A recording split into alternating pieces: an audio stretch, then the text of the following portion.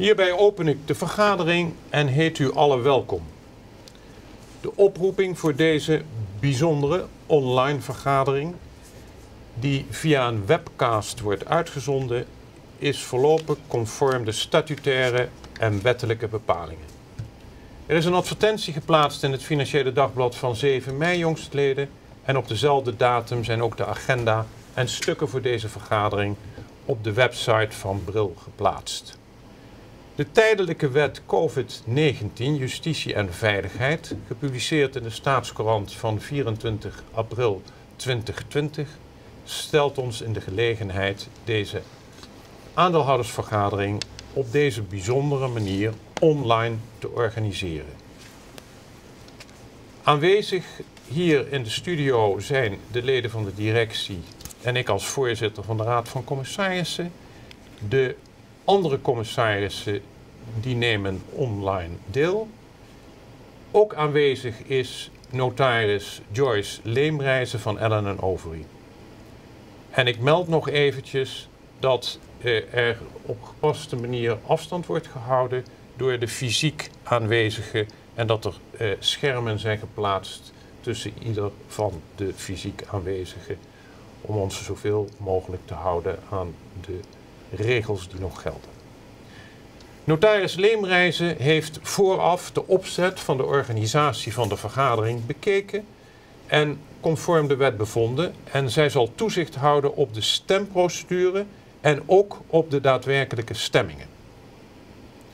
Aan alle aan de vennootschappen bekende aandeelhouders en certificaathouders zijn, zoals gebruikelijk, het jaarverslag 2019 en de agenda met bijlagen voor deze aandeelhoudersvergadering toegezonden, voor, voor zover zij daarin in 2018 formeel toestemming voor hebben verleend. Dit in verband met de nieuwe privacywetgeving. Als aandeelhouders en in het bijzonder natuurlijk certificaathouders of geïnteresseerden zich laten registreren bij het secretariaat van de vennootschap, krijgen zij automatisch verslagen en zo mogelijk per e-mail tussentijdse berichten en, half, en het halfjaarbericht toegezonden. Het jaarverslag wordt gepubliceerd op de website van Bril en verschijnt in het Engels. In het Engelstalige jaarverslag 2019 zijn het jaarverslag, de vroegere brochure en het jaarlijkse bijzondere artikel in één document gevat. Dat hebt u eh, kunnen waarnemen. Dit jaar is er een bijzonder artikel in opgenomen met de titel Joseph Scaliger, His Oriental Library and the Meaning of Scholarship.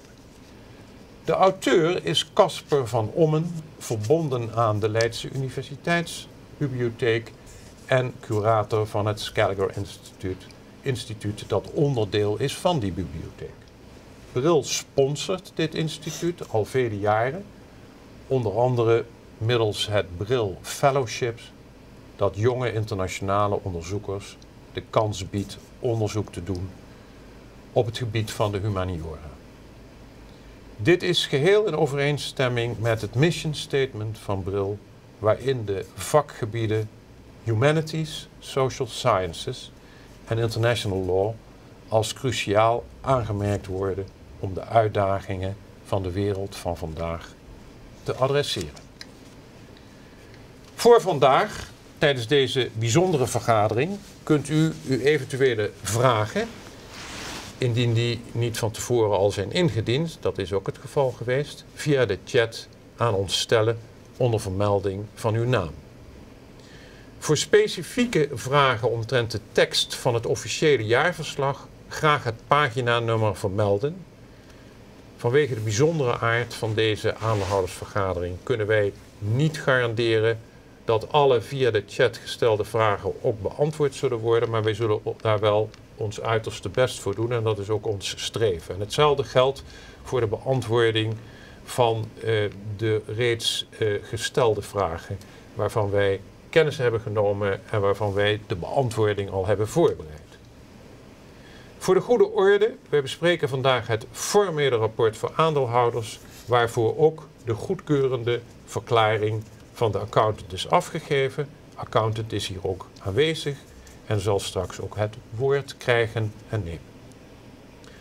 Van de vorige vergadering zijn een besluitenlijst en een verslag gemaakt. Deze zijn beide beschikbaar via de website. Opnieuw hebben wij voor de aanwezigen die daar behoefte aan hebben een simultane vertaalservice voorzien. Ofschoon Bril een internationale uitgeverij is en de voertaal Engels, is op een dag als vandaag de Nederlandse taal de meest aangewezene gezien het formele karakter van de vergadering en in het bijzonder de stempunten die aan de orde komen. En dat alles vindt zijn basis eh, in het Nederlandse recht of de statuten van dit oer-Hollandse bedrijf. Ik eh, spreek ook graag een bijzonder woord van welkom aan de genodigden uit. Eh, dat is allereerst de voorzitter en de leden van het bestuur van Stichting Luchtmans. De voorzitter, de heer Nieuwe Wemen en de bestuursleden van Stichting Administratiekantoor Koninklijke Bril. De heer Nieuwe Wemen zal tijdens deze vergadering, neem ik aan, nog een aantal malen het woord krijgen. Ook een woord van welkom, ik noemde hem net al, aan de, heren, aan de heer Middelweert van PwC, die hier aanwezig is, en aan de heren Vermeulen en Ramado, Ramadanovic. Die horen via webcast toe en alle zijn zij van PricewaterhouseCoopers Accountants NV. Dat is de accountant die de jaarrekening heeft gecontroleerd. De accountant van Bril. De samenwerking met de accountant was plezierig uh, en de controle op de jaarrekening en de bespreking daarvan zijn grondig geweest. En ik heet een bijzonder woord van welkom ook aan de voorzitter en de leden van de ondernemingsraad van de vennootschap, met wie ik ook persoonlijk het afgelopen jaar een aantal constructieve gesprekken heb gevoerd.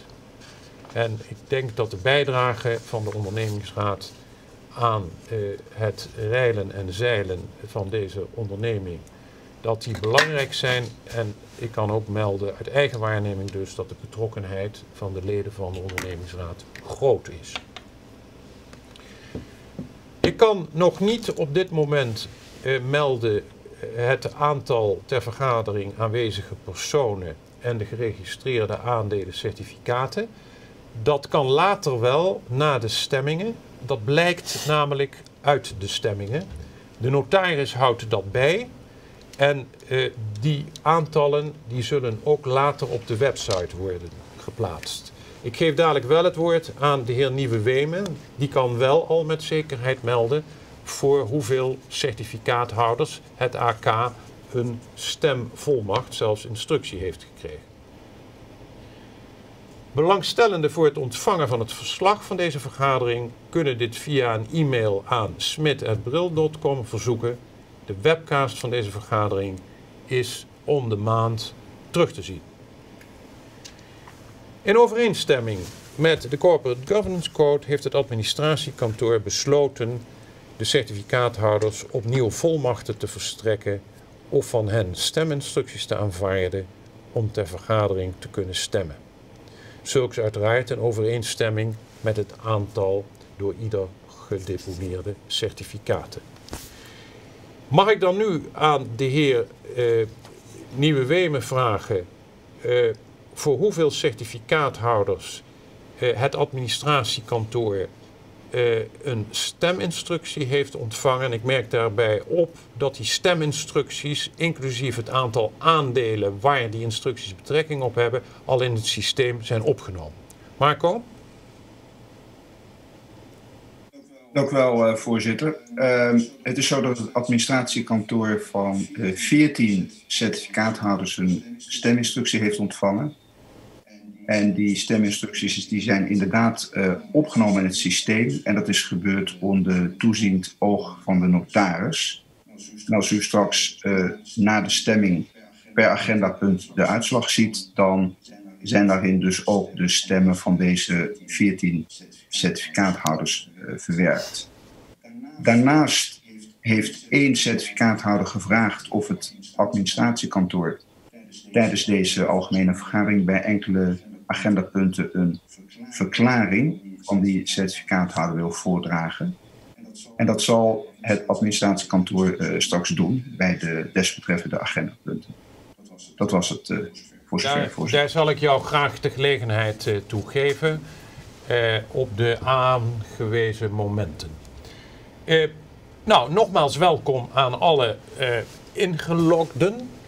Wij zijn verheugd over de belangstelling die de betrokkenheid van u bij onze onderneming bevestigt. En u weet dat eh, wij in het open verkeer met onze certificaathouders hechten aan eh, de goede traditie om met hen alle aspecten van onze onderneming te bespreken. Het is goed om regelmatig een gedachtenwisseling te hebben over de vormgeving van onze onderneming. Die vormgeving is een bijzondere.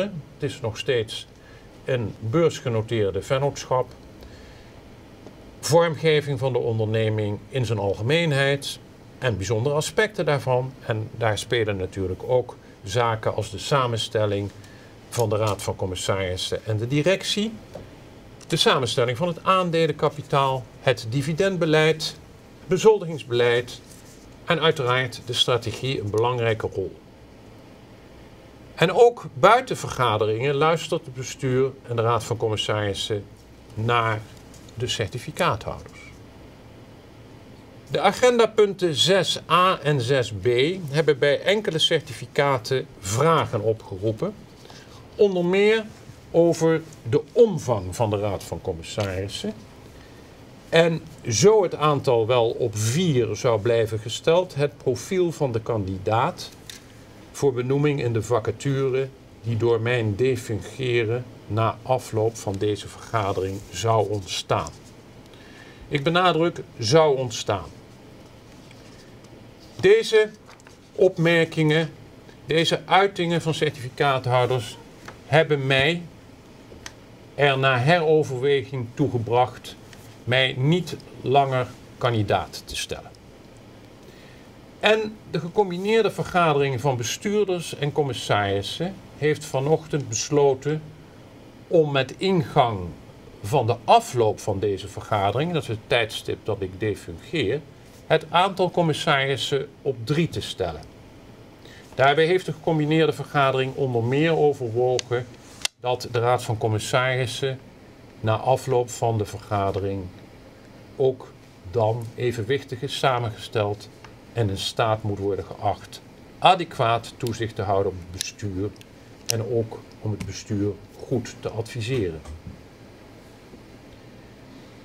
De Raad van Commissarissen heeft eveneens vanochtend besloten, unaniem, om het ingang van na de afloop van deze vergadering de heer Hoytema van Konijnenburg tot voorzitter van de Raad van Commissarissen te benoemen en heeft eveneens unaniem besloten om de heer Van de Raad tot vicevoorzitter van de Raad van Commissarissen te benoemen. Dit betekent, u begrijpt het, het is ook al bekendgemaakt, eh, misschien hebt u daar kennis van genomen. Dit betekent dat er geen vacature ontstaat en de behandeling van de agendapunten 6a en zeker 6b zou derhalve zinledig zijn. En we behandelen dus die agendapunten ook niet. Nou, dit is een wat lange introductie. 14 minuten zie ik dat ik daarvoor nodig heb gehad. Ik ga nu naar het jaarverslag 2019. Het jaarverslag is elektronisch gepubliceerd op de website. Een gedrukte versie, inclusief het eerder genoemde bijzondere artikel, is eerder deze maand aan alle bij de vennootschappen bekende certificaathouders en stakeholders verzonden, die daarvoor, ik meld het al, eerder formeel daarvoor toestemming hebben gegeven. Het jaarverslag 2019 geeft ruime aandacht aan de omgeving waarin Bril opereert, bevat een vrij uitvoerige terugblik op het verslagjaar en presenteert de toekomstplannen en ambities zo helder mogelijk. De CEO, Peter Koeberg, zal hier met zijn collega's Olivier de Vlam, CFO, en Jasmin Lange, CPO, in een presentatie nader op ingaan. Maar alvorens wij daaraan toe zijn, vraag ik graag aandacht voor het agendapunt bespreking van het verslag van de Raad van Commissarissen. Daarvan hebt u natuurlijk ook in het jaarverslag kennis kunnen nemen, maar ik vat dat nog kort samen. Het staat op pagina 36, pagina 36 tot en met 38 van het jaarverslag. De jaarvergaderingen van de Raad van Commissarissen met de directie vinden in beginsel tenminste zes maal per jaar plaats. Afgelopen jaar was dat zeven keer, waarvan één vergadering werd georganiseerd bij onze dochteronderneming Schöning Fink in Paderborn, Duitsland. Daarnaast vergaderde de raad vijfmaal telefonisch en vond, zoals gebruikelijk, regelmatig informeel overleg plaats met de directie. De Raad van Commissarissen heeft met de directie een vennootschappelijke kalender afgesproken, waardoor stelselmatig bepaalde zaken aan de orde komen ter bespreking in de vergaderingen van de Raad van Commissarissen. Kwartaalrapporten worden besproken, inclusief latest estimates. Nieuwe key indicators hebben een plek gekregen zoals Return on Investment Capital, welke een leidraad is voor de onderneming. De heer De Vlam zal daar straks meer over zeggen.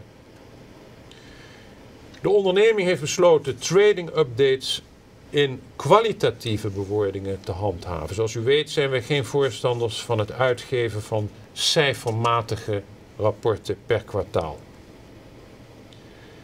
Speciale aandacht is gegeven aan de bespreking van de herziening van het strategisch plan, dit keer voor de periode 2020-2022.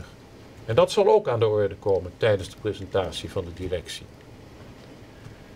Tussentijds zijn er ter bespreking de terugkerende cashflow-prognoses, risicoanalyses, rapportages over, onder, over onderhanden werk, major reference works, IT-projecten en de beoordeling van managementpotentieel en opvolgingstrajecten. Het onderwerp acquisitie is een vast agendapunt. Indien zich mogelijkheden voordoen voor acquisities, worden deze uitvoerig besproken, zo nodig tussentijds, ook in telefonische vergaderingen, en worden deze in de context geplaatst van de regelmatig bijgehouden strategische verkenning. Tweemaal is er een gesprek geweest met de accountant, waarin ook dienstobservaties en de zogeheten management letter uitvoerig werden besproken. En in ons beleid is dat gedeeltelijk buiten aanwezigheid van de directie en staf. Er zijn ook dit jaar geen bijzonder problematische zaken in dit gesprek aan de orde gekomen. Er is een lijst van aandachtspunten, ingedeeld naar risico en impact. De voortgang met betrekking tot de nemen acties worden tijdens het jaar tussentijds door de Raad van Commissarissen besproken. Uiteraard kan het altijd beter en het afgelopen jaar is in de managementrapportage nog meer financiële en niet-financiële stuurinformatie opgenomen.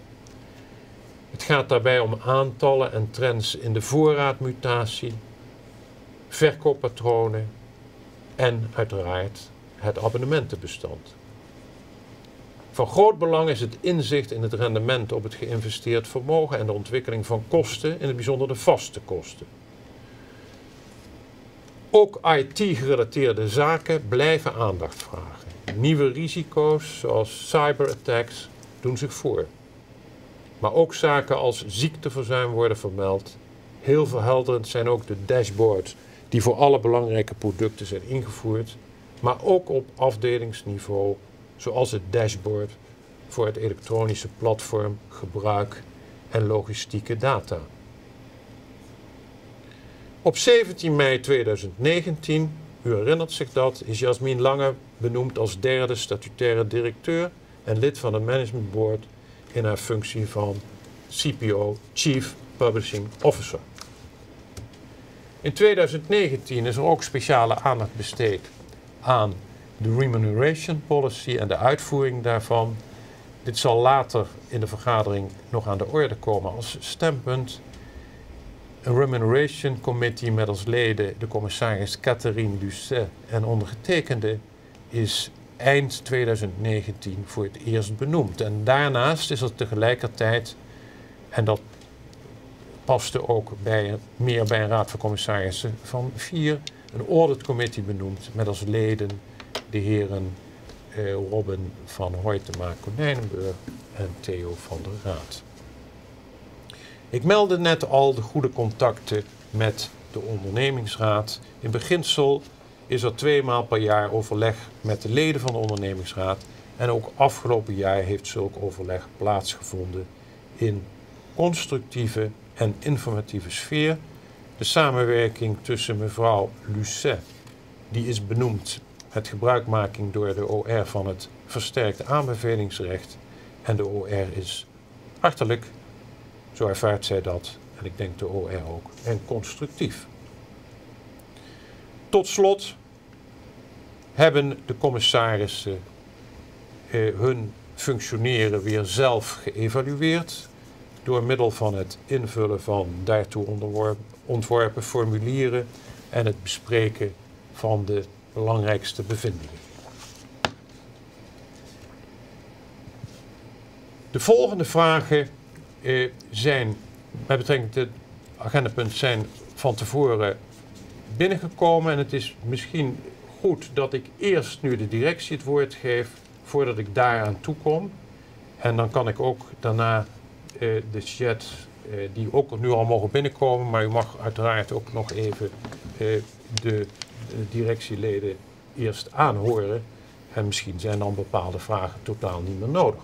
Dus ik geef graag het woord aan de voorzitter van de directie, Peter Koebe. Dank je, Steven. Graag wil ik u ook namens mijn collega's Jasmin Lange en Olivier de Vlam welkom heten op deze bijzondere vergadering. Vandaag neemt Bril opnieuw een stap in het veranderen van een traditionele uitgeverij naar een digitale uitgeverij.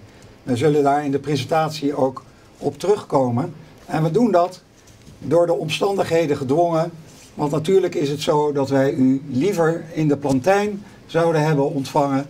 En in de toekomst zal dat ook weer gebeuren. Maar het is wel prachtig dat we met deze technologie toch u allemaal kunnen ontvangen in een digitale aandeelhoudersvergadering voor het eerst in het bestaan, 337-jarig bestaan van Bril. Dit gaat gewoon nog met de hand. Ik kijk naar de volgende slide. En deze kent u. Hierin staat in het kort gezegd dat er vandaag ook dingen gezegd gaan worden die betrekking op de toekomst hebben. En die zouden wel eens niet waar kunnen worden met alle gevolgen van dien. Dan ga ik het nu hebben over het jaar waar we het eigenlijk vandaag vooral over hebben, het jaar 2019. Hoe zag dat eruit? 2019 was eigenlijk een heel erg goed jaar naar ons idee. Onze omzet ontwikkelde zich zeer positief. We kregen ook beter grip op onze kosten. En het Profit Improvement Plan, wat gelanceerd was, is, heeft ook zijn eerste resultaten laten zien in 2019. Zoals ik al zei, we zijn op, bezig met een digitale transformatie. En bijna 60% van de omzet komt nu uit digitale producten, producten en de ontwikkeling van nieuwe producten en publicaties betreft eigenlijk bijna uitsluitend digitale uh, publicaties. Of publicaties via het snelgroeiende open access model. Onze e-book omzet liet in 2019 een vrij spectaculaire groei zien van 13% Trots zijn wij ook op de ontwikkeling in-house, zoals dat dan heet, van een uh, digitaal text editions platform. Tekstedities uh, zijn belangrijk in de humanities. Het is het becomentariseren van vaak oude teksten door wetenschappers. En wij hebben daar een speciaal platform voor ontwikkeld, waardoor dat digitaal veel beter kan. En het is ook een goed voorbeeld hoe een uitgeverij als Bril, werkende in kleine niches, innovatief en leidend kan zijn. Een ander voorbeeld van onze constante digitalisering is ook de samenwerking met een start-up, Use Mundi. Zij maken gebruik van artificial intelligence in de wereld van international arbitration. Ook hier zal nog meer over gezegd worden. Om de transformatie verder te versnellen en onze digitale infrastructuur future-proof te maken en competitief, hebben wij eind 2019 een Digital Health Check gelanceerd. Waarover ook later meer in deze presentatie. Onze portfolio is verder versterkt met diverse nieuwe encyclopedieën, gedigitaliseerde originele bronnen en daarnaast werden ook enige tijdschriften van concurrenten overgenomen. Ook werden onze zogenaamde publication ethics volledig herzien en aangepast. En Jasmin zal u hier over, uh, en over andere uitgeefzaken verder informeren. Kortom, een goed jaar na het wat teleurstellende 2018 en daar zijn wij tevreden over. En toen kwam de coronapandemie.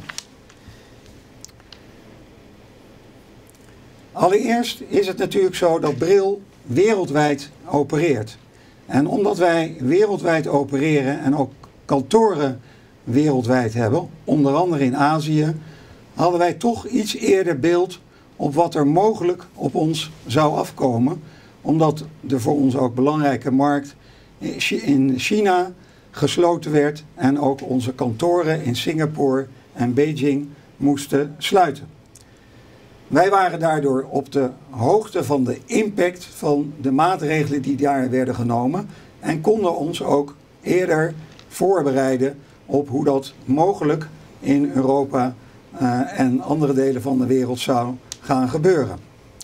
Wij hebben ons daardoor goed kunnen voorbereiden op het omschakelen naar het werken uh, vanuit huis op geheel digitale wijze. Uh, en dat is ook probleemloos verlopen. En ik zou toch hier ook willen zeggen dat de brilmedewerkers zich wereldwijd op een bijzondere manier hebben ingespannen om een combinatie te zoeken en te vinden van het thuiswerken en het managen van hun privésituaties, vaak ook met kinderen of andere zorg. Dat is allemaal zeer goed gegaan. Toch bleek later dat die impact uh, van corona, uh, eerst in Azië, maar later in Europa en Amerika, groter was dan gedacht. Alle universiteiten uh, sloten, bibliotheken sloten en ook het distributiekanaal voor onze papieren boeken kwam tot stilstand. Het was ook duidelijk dat er stevige maatregelen genomen moesten worden om hier mee om te gaan. Maatregelen in de sfeer van kostenbesparing en uiteindelijk ook het schrappen van het volledige dividend.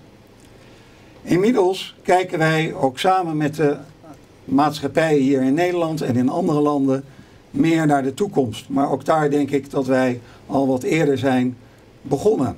We zien voordelen in onze e-business. Onze e-boeken groeien dit jaar nog harder dan vorig jaar. Het feit dat 40% van onze omzet op, gebaseerd is op abonnementen, geeft ons ook relatieve zekerheid. En ons financiële en cashmanagement is er sterk op gericht om na deze crisis ook gebruik te kunnen maken van mogelijke strategische acquisitiekansen, vooral in Duitsland en binnen de Europese Unie. Zoals zoveel uitgevers hebben wij ook uh, op ons platform bril.com relevante COVID-19 publicaties gratis beschikbaar gesteld. Die gaan dan niet over de laatste medische ontdekkingen, maar die gaan over de maatschappelijke en sociale en juridische impact van bijvoorbeeld de maatregelen en de gevolgen van de pandemie op de maatschappij. Maar ook hoe er omgegaan werd met vergelijkbare pandemieën in bijvoorbeeld de middeleeuwen. Ik geef nu graag het woord aan Olivier om uh, meer in detail in te gaan op onze financiële uh, performance in 2019. Olivier. Prima. Uh, ook namens mij allemaal hartelijk welkom. in mijn presentatie wil ik met u stilstaan bij drie vensters. we kijken natuurlijk terug op 2019. Ik wil er voor u één langetermijn trend uitlichten die een belangrijke pijler is onder onze financiële performance. En ik wil u een overzicht geven van de financiële uitgangspositie waarmee Bril deze onzekere tijd ingaat. Mag ik dan de eerste slide alsjeblieft? Goed, de verbetering in de financiële resultaten die wij zien is sterk gedreven door de verbetering in omzet en marge. De omzetgroei werd vooral gedreven door digitale producten, die in 2019 56% van de omzet uitmaakten. De groei vond plaats in Noord-Amerika, dat een sterk herstel toonde ten opzichte van 2018. Dit had alles tot gevolg dat uh, EBITDA en operating profit sterk stegen, uh, onderliggende netto winst ook. Uh, de de uh, formele IFRS-netto-winst is uh, echter gedaald door uh, de eenmalige baten die vorig jaar in de netto-winst zat, de belastingbaten. die deels is teruggedraaid door het kabinetsbeleid aangaande de vennootschapsbelasting in 2019. Kerngetallen spreken denk ik voor zich. We hebben een organische groei laten zien van 2,5 procent. De bruto marge is verder gestegen naar 69,8 procent. De EBITDA-marge is verder verbeterd en de return on invested capital is weer waar wij hem graag hebben willen, namelijk met een bandbreedte van een procent of twee boven onze gewogen gemiddelde vermogenskostenvoet. Um, de EBITDA-marge, daar is nog wel wat over te zeggen, omdat uh, die sterk uh, rugwind heeft gekregen van de IFRS 16-richtlijn, die voorschrijft dat alle kosten die aan geleasede assets hangen, nu als afschrijving en als rentekosten geboekt worden, waardoor de EBITDA natuurlijk automatisch een wat rugwind krijgt. Daarom hebben we in dit overzicht ook de EBITDA marge van vorig jaar uh, op dezelfde basis gerestate, zodat u de uh, appels voor appels vergelijking goed kunt zien. Op de return on invested capital heeft de IFRS 16 geen invloed gehad. echter, we hebben in de berekening van vorig jaar een kleine onjuistheid gevonden, waardoor nu de vergelijkende basis ook beter te zien is. Dan wil ik graag door naar het volgende onderwerp. Een uh, langetermijntrend die voor Bril erg belangrijk is, is uh, de verbetering in de resultaten van de tijdschriftportfolio. U kunt hier zien, in de periode 2015 tot 2019 hebben we een samengestelde groei gerealiseerd van bijna 4% wat uh, bovengemiddeld voor bril is en wat behoorlijk constant is over alle jaren heen, waarin er in principe wel het nodige gebeurd is. Um, het fijne aan die tijdschriftomzet uh, is dat er uh, het grootste gedeelte abonnement gebaseerd is. Uh, er zit een stuk in licentieinkomsten in, die ook zeer interessant zijn, omdat wij sterke partners hebben gevonden die voor, een, voor ons een stuk verkoop doen bij klanten waar we zelf niet komen. en de laatste jaren krijgt de omzet ook nog een beetje eh, rugwind van de open access trend, waar we in sommige gevallen de omzet goed kunnen vervangen en in sommige gevallen zelfs uitbreiden. De groei die u ziet komt voor een deel door het aantal titels, maar daar moet ik bij zeggen dat nieuwe titels die door Bril uh, gesticht wordt, dat hebben we wel eens eerder gedeeld, duurt vaak heel erg lang voordat die substantieel bijdragen aan de omzet. Uh, dus wat u daarnaast ook ziet, is uh, overnames van reeds bestaande tijdschriften die we daarna snel uh, beter kunnen exploiteren. Uh, u ziet het effect van sommige deals en de open access. Dit is een trend waarmee we nog lang door hopen te gaan en wat een zeer belangrijke is voor Bril. Peter, mag ik de volgende? Als laatste wil ik ingaan op een paar aspecten van onze financiële positie, die ook heel relevant zijn in de coronacontext. Daarom uh, wil ik hier even bij u stilstaan. Daarbij wil ik de nadruk leggen op ons businessmodel, uh, de maatregelen uh, die we tot nog toe hebben genomen en een paar relevante KPI's van de balans en de financiering. In ons businessmodel is het een voordeel op dit moment dat wij uh, in belangrijke mate vooruitbetaalde abonnementen hebben. 36% van onze omzet vorig jaar was uh, gebaseerd op uh, abonnementen. En dat betekent dus dat wij een groot deel van de jaaromzet inmiddels op onze bankrekening hebben staan. We zien een voortgaande afname in de waarde van onze voorraden, waardoor de benodigde investering in werkkapitaal steeds verder daalt. En dat maakt altijd weer opnieuw geld vrij voor strategische investeringen of voor uh, het bestrijden van uh, problemen zoals die nu ervaren bij de uh, coronacrisis. Onze uitgangspunten voordat we dit jaar begonnen waren erg goed. we hebben een, een vordering op de Belastingdienst, zoals in onze jaarrekening te vinden is, van 1,1 miljoen. Die is inmiddels deels uitbetaald en uh, voor de, de rest verwachten we in de loop van het jaar. We hebben natuurlijk na lang beraad besloten uh, om geen dividend uit te betalen.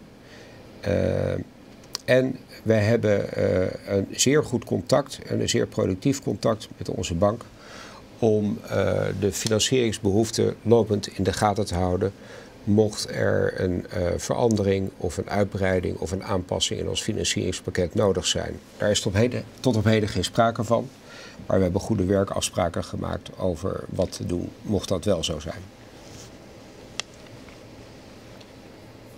Uh, als laatste sta ik nog even stil bij onze balans.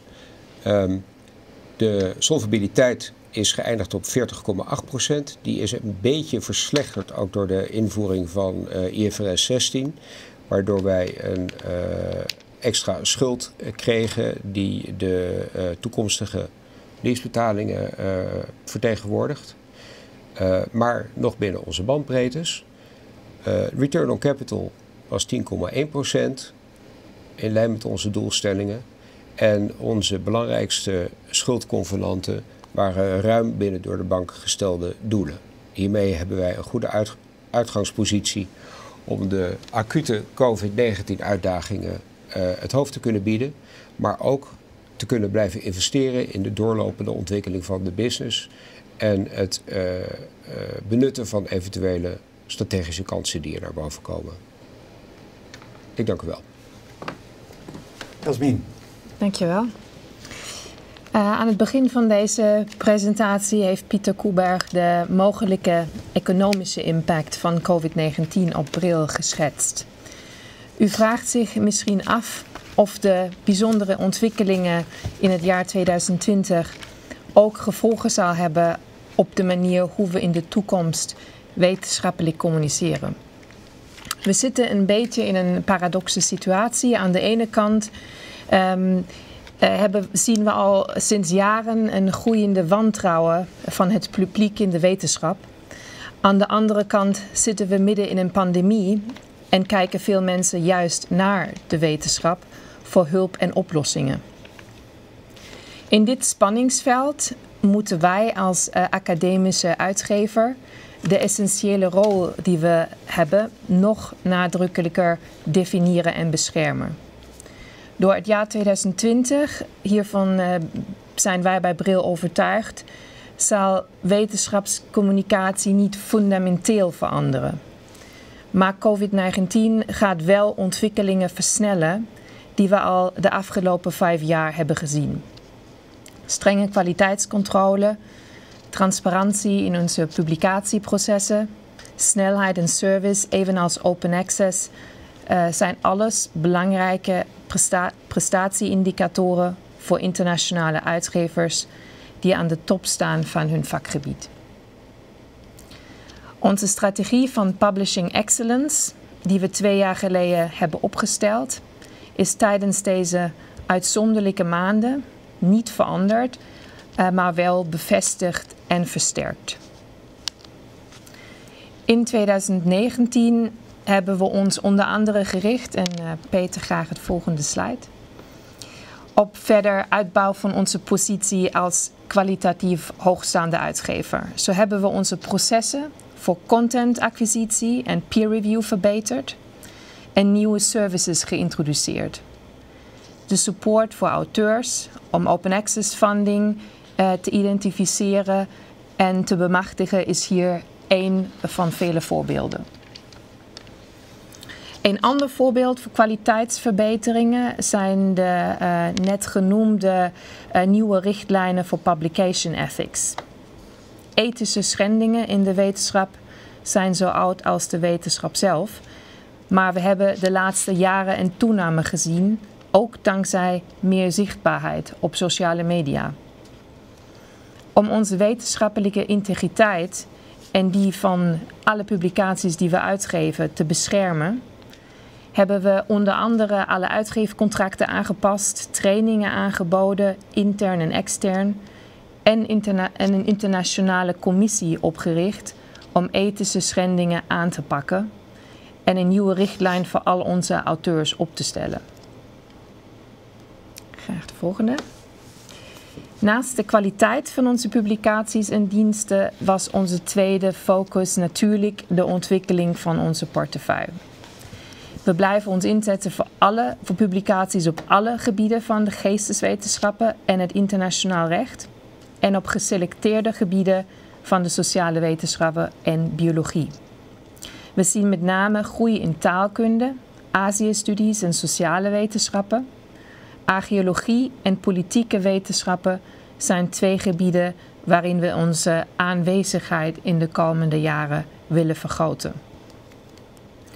Ons tijdschriftenportefeuille, net al uh, genoemd, groeide opnieuw met meer dan 20 titels. En ons boekenprogramma bleef stabiel ten opzichte van het jaar 2020, eh, 18. Sorry. De inkomsten uit e-boeken zijn ook in 2019 uh, aanzienlijk gegroeid. Peter Goeberg heeft het net gezegd.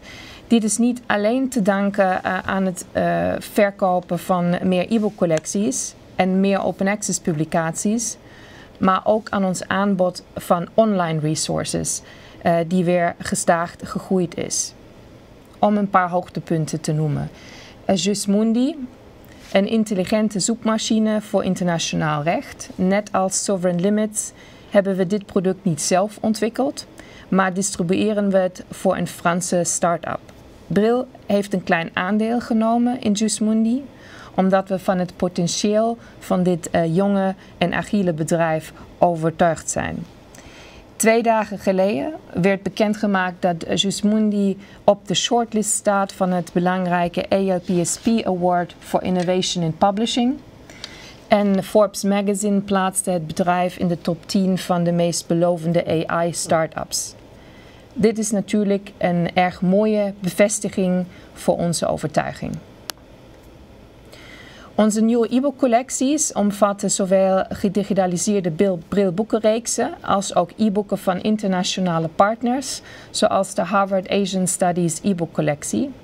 Ik zal op de volgende slide nog verder op ingaan wat onze plannen zijn om onze e-bookcollecties te laten groeien. Eind vorig jaar publiceerden we ook de tweede uh, Open Access naslagwerk met financiering van de Wellcome Trust in uh, Londen. U ziet hier een pictogram met een mooie Arabische uh, teken. A Literary History of Medicine is voor iedereen beschikbaar op onze nieuwe platform voor Scholarly Editions. Ten slotte publiceren we natuurlijk ook nog steeds primary source collections.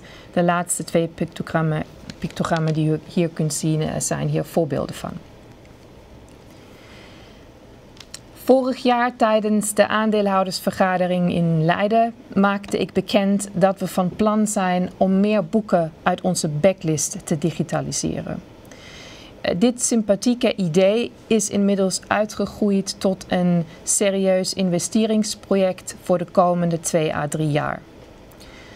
Ons platform bevat momenteel ongeveer 20.000 e-boeken. Met het Braille Book Archive breiden we deze collectie uit met zeker meer dan 10.000 titels. Aan het einde van dit project zullen alle belangrijke boekenreeksen en publicaties die Bril ooit heeft uitgegeven, zowel elektronisch als in gedrukte vorm, beschikbaar zijn voor onze klanten. Graag volgende. Ik wil mijn deel van de presentatie afsluiten met een slide over Open Access. Ook omdat van twee aandeelhouders uh, specifieke vragen over Open Access uh, uh, wij hebben ontvangen. En ik hoop dat ik deze vragen hiermee beantwoord. Open Access is al jaren het snelst groeiende businessmodel in onze sector. Bril gaat natuurlijk mee met deze ontwikkeling en we zijn goed voorbereid op een toekomst in Open Access. De Open Access in 2019 groeide met 20% tot 750.000 euro. Dat is ongeveer 2% van onze jaarlijkse omzet. Niet veel zou u zeggen, maar dit percentage zal toenemen tot zeker 10% als we ook in de komende jaren erin slagen om uh, meer open access deals met nationale consortia te sluiten en onze open access boekprogramma te laten groeien. En met komende jaren bedoel ik de komende twee tot drie jaar. In 2019 publiceerden we ongeveer 50 frontlist titels in open access. In 2020 hebben we hetzelfde aantal uh, boeken uh, in open access al in de eerste vijf maanden gepubliceerd. We, we, zullen dus in 2020 hier weer een aanzienlijke groei zien, die zich ook dan vertaalt in groei in e-book omzet. Met onze prijzen, er was ook een vraag naar de marge.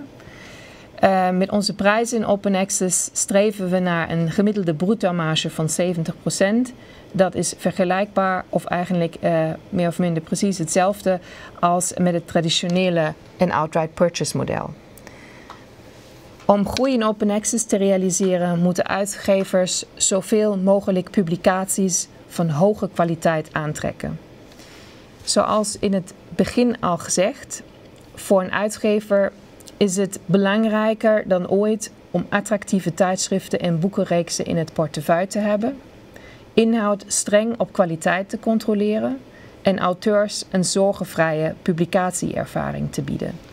Publication ethics is de juiste strategie uh, voor deze tijd, ongeacht uh, het businessmodel en ook ongeacht uh, of we nu in coronatijden zitten of niet.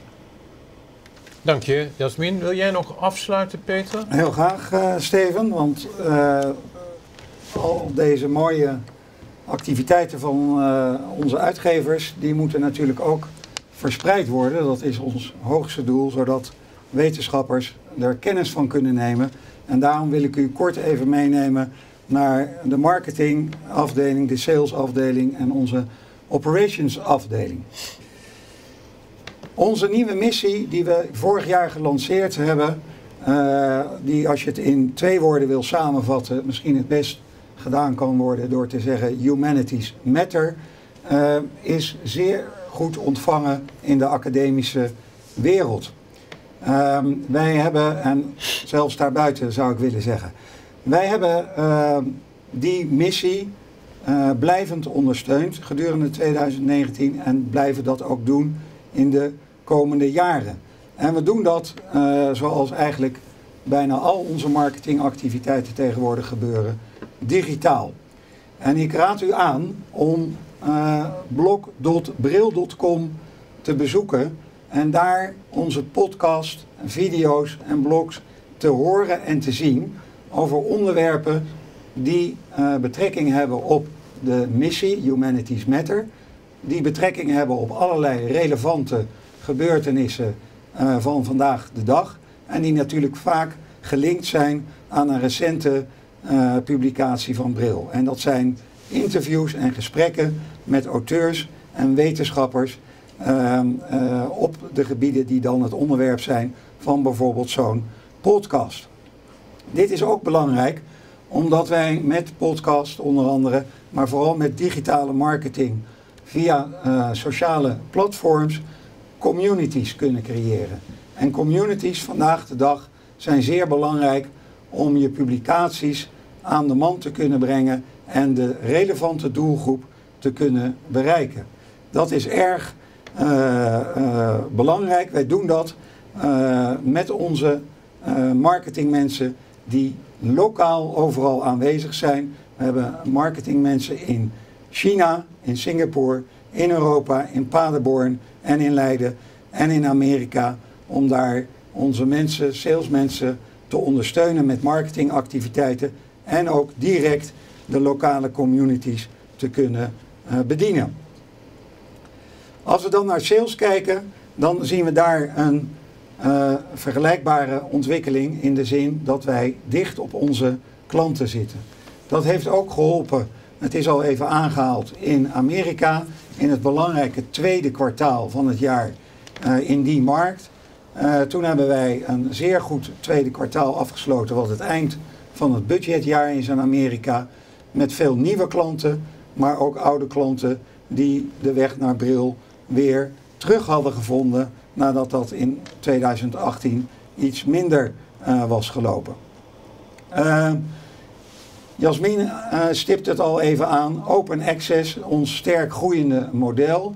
Ook door de omstandigheden in de markt die veranderd zijn, waarbij overheden en grote funders ook verplicht stellen dat onderzoek met publieke middelen gefinancierd via open access gepubliceerd worden, worden dit soort overeenkomsten met universiteiten en met consortia steeds belangrijker. Dit betekent dat de rol van ons verkoopteam ook verandert. Ze zijn meer eens aan het samenwerken met de publishingafdeling en ze sluiten de zogenaamde transformative agreements, waarbij een traditioneel op abonnementen gebaseerde overeenkomst verandert in een overeenkomst die nog deels een reading fee vraagt, maar vooral ook over publishing gaat in open access. Er wordt dan een prijs per artikel afgesproken waarop uh, de uh, mensen die verbonden zijn aan het instituut of de instituten waar het over gaat, uh, gratis kunnen publiceren in open access. Een zeer belangrijk model voor de toekomst, waarbij ook de author services van Bril, dus de uh, experience bijna zou ik zeggen, waar Jasmin het ook over had, door onze verkoopmensen verkocht moet worden. Een ander nieuw model wat zeer succesvol is, en uh, ik verontschuldig mij voor de vele Engelse woorden, maar we zijn nu eenmaal een internationaal bedrijf, maar is het evidence-based acquisition model. Wat is dat? Wij sluiten, wij sluiten een klant aan op een deel of al onze e-book collections. Zij kunnen dan voor een bepaalde tijd toegang, vrij toegang krijgen tot al onze e-boeken of een deel daarvan. Er is een bedrag afgesproken met deze klant en aan het eind van de gebruikstermijn kunnen zij dat bedrag besteden aan het daadwerkelijk aanschaffen van deze e-books. Dus onze businessmodellen zijn zoals altijd ook weer in beweging. Dan naar operations, uh, de Digital Health Check. Ik noemde hem al uh, even. Uh, in de afgelopen tien jaar is er heel veel geïnvesteerd door Bril in allerlei IT-systemen en workflow tools. Iets minder is er geïnvesteerd in de mensen en de skills en competences die er nodig zijn om daar ook het optimale uit te halen. En je kan je ook afvragen of al die verschillende systemen op het moment bij ons evengoed met elkaar uh, verbonden zijn. Wij willen, uh, en het is voor ons belangrijk, dat wij onze doelstellingen zoals neergelegd in onze missie en het strategisch plan kunnen realiseren. En dat wij onze competitieve positie kunnen versterken. In de huidige tijd is het daarvoor cruciaal dat je digitale infrastructuur helemaal goed functioneert en dat je die uh, doelstellingen ook kan halen. Daarom hebben wij met behulp van een externe consultant onze digitale infrastructuur laten doorlichten. Daar zijn allerlei verbeterpunten uit gekomen die wij in 2020 en 21 en 22 uh, zullen gaan doorvoeren. En misschien loopt het ook nog wel door tot in 2023. En nogmaals, dat is wezenlijk voor de ontwikkeling van Bril en voor die transformatie van een traditionele uitgeverij naar een digitale uh, uitgeverij. Ik had even niet op de slide gedrukt, zie ik, maar uh, u ziet hem hier alsnog, de slide over de Digital uh, Health Check. Dat was marketing, sales en operations. Ik ga nu even naar de jaren die voor ons liggen. Hoe ziet onze uh, toekomst eruit? En daar wil ik uh, een aantal punten ook van belichten.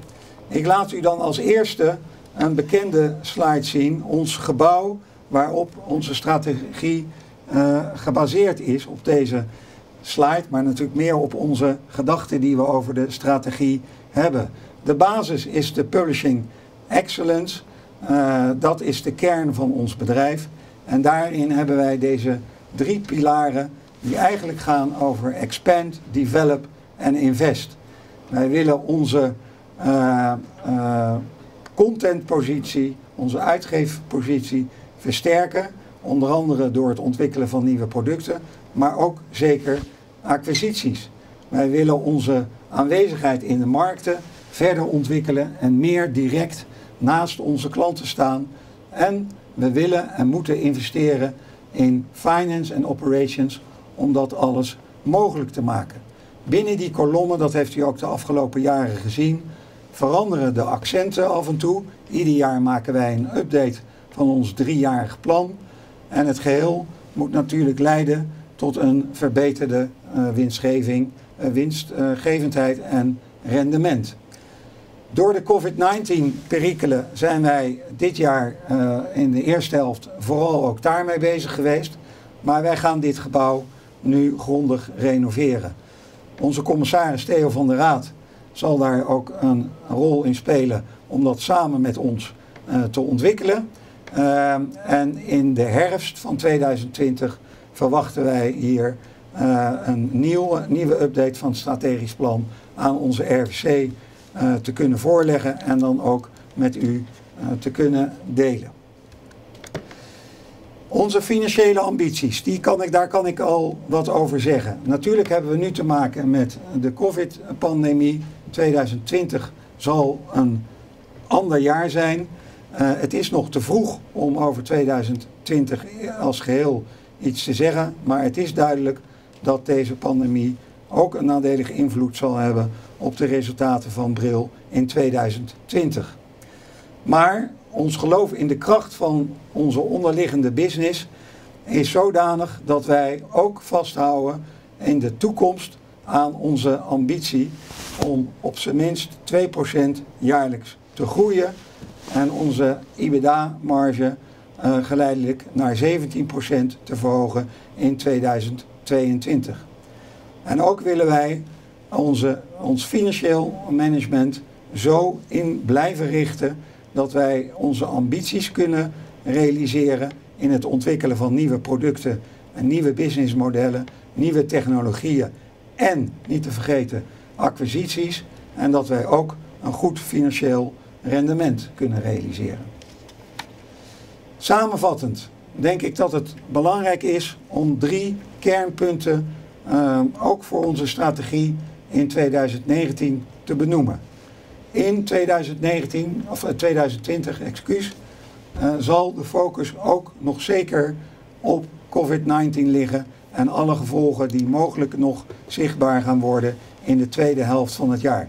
Dat zal veel aandacht van ons blijven vragen.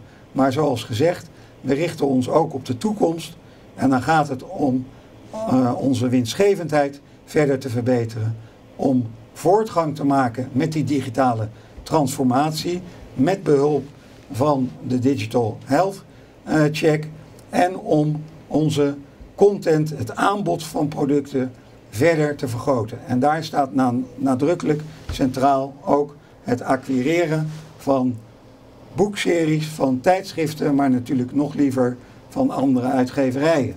In 2019, zeker in de tweede helft, zijn we daar ook druk mee bezig geweest.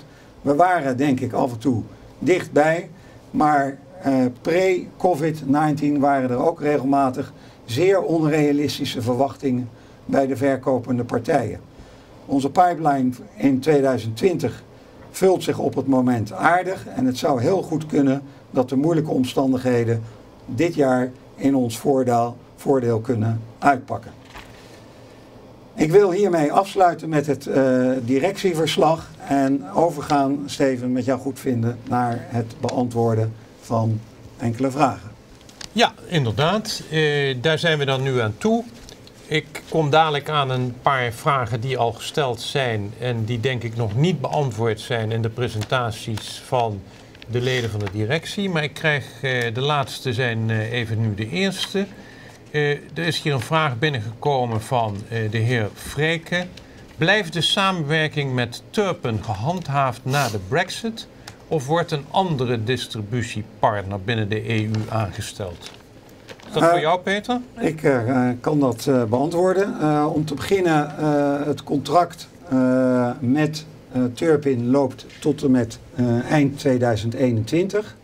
Um, er zijn problemen geweest met Turpin. Voor een deel spelen die nog steeds, al wordt er nadrukkelijk ook uh, voortgang uh, gemaakt.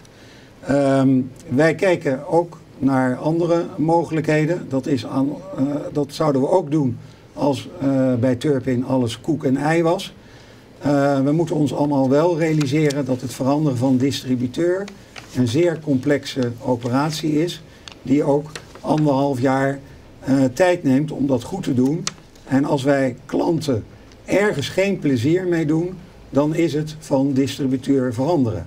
Wij moeten dus afwegen, en dat zullen we ook doen, hoe uh, verbetert de kwaliteit van uh, Turpin zich in de komende tijd. Er zijn daar enkele managementwisselingen nu geweest, onder andere de CEO. Turpin is onderdeel geworden van een groter bedrijf, die wij tot nu toe die veranderingen als positief ervaren. Uh, is dus een optie dat wij uh, na de brexit en na het aflopen van het contract bij Turpin blijven. Er is ook een mogelijkheid dat wij uh, besluiten om over te stappen naar een andere distributeur. Duidelijk.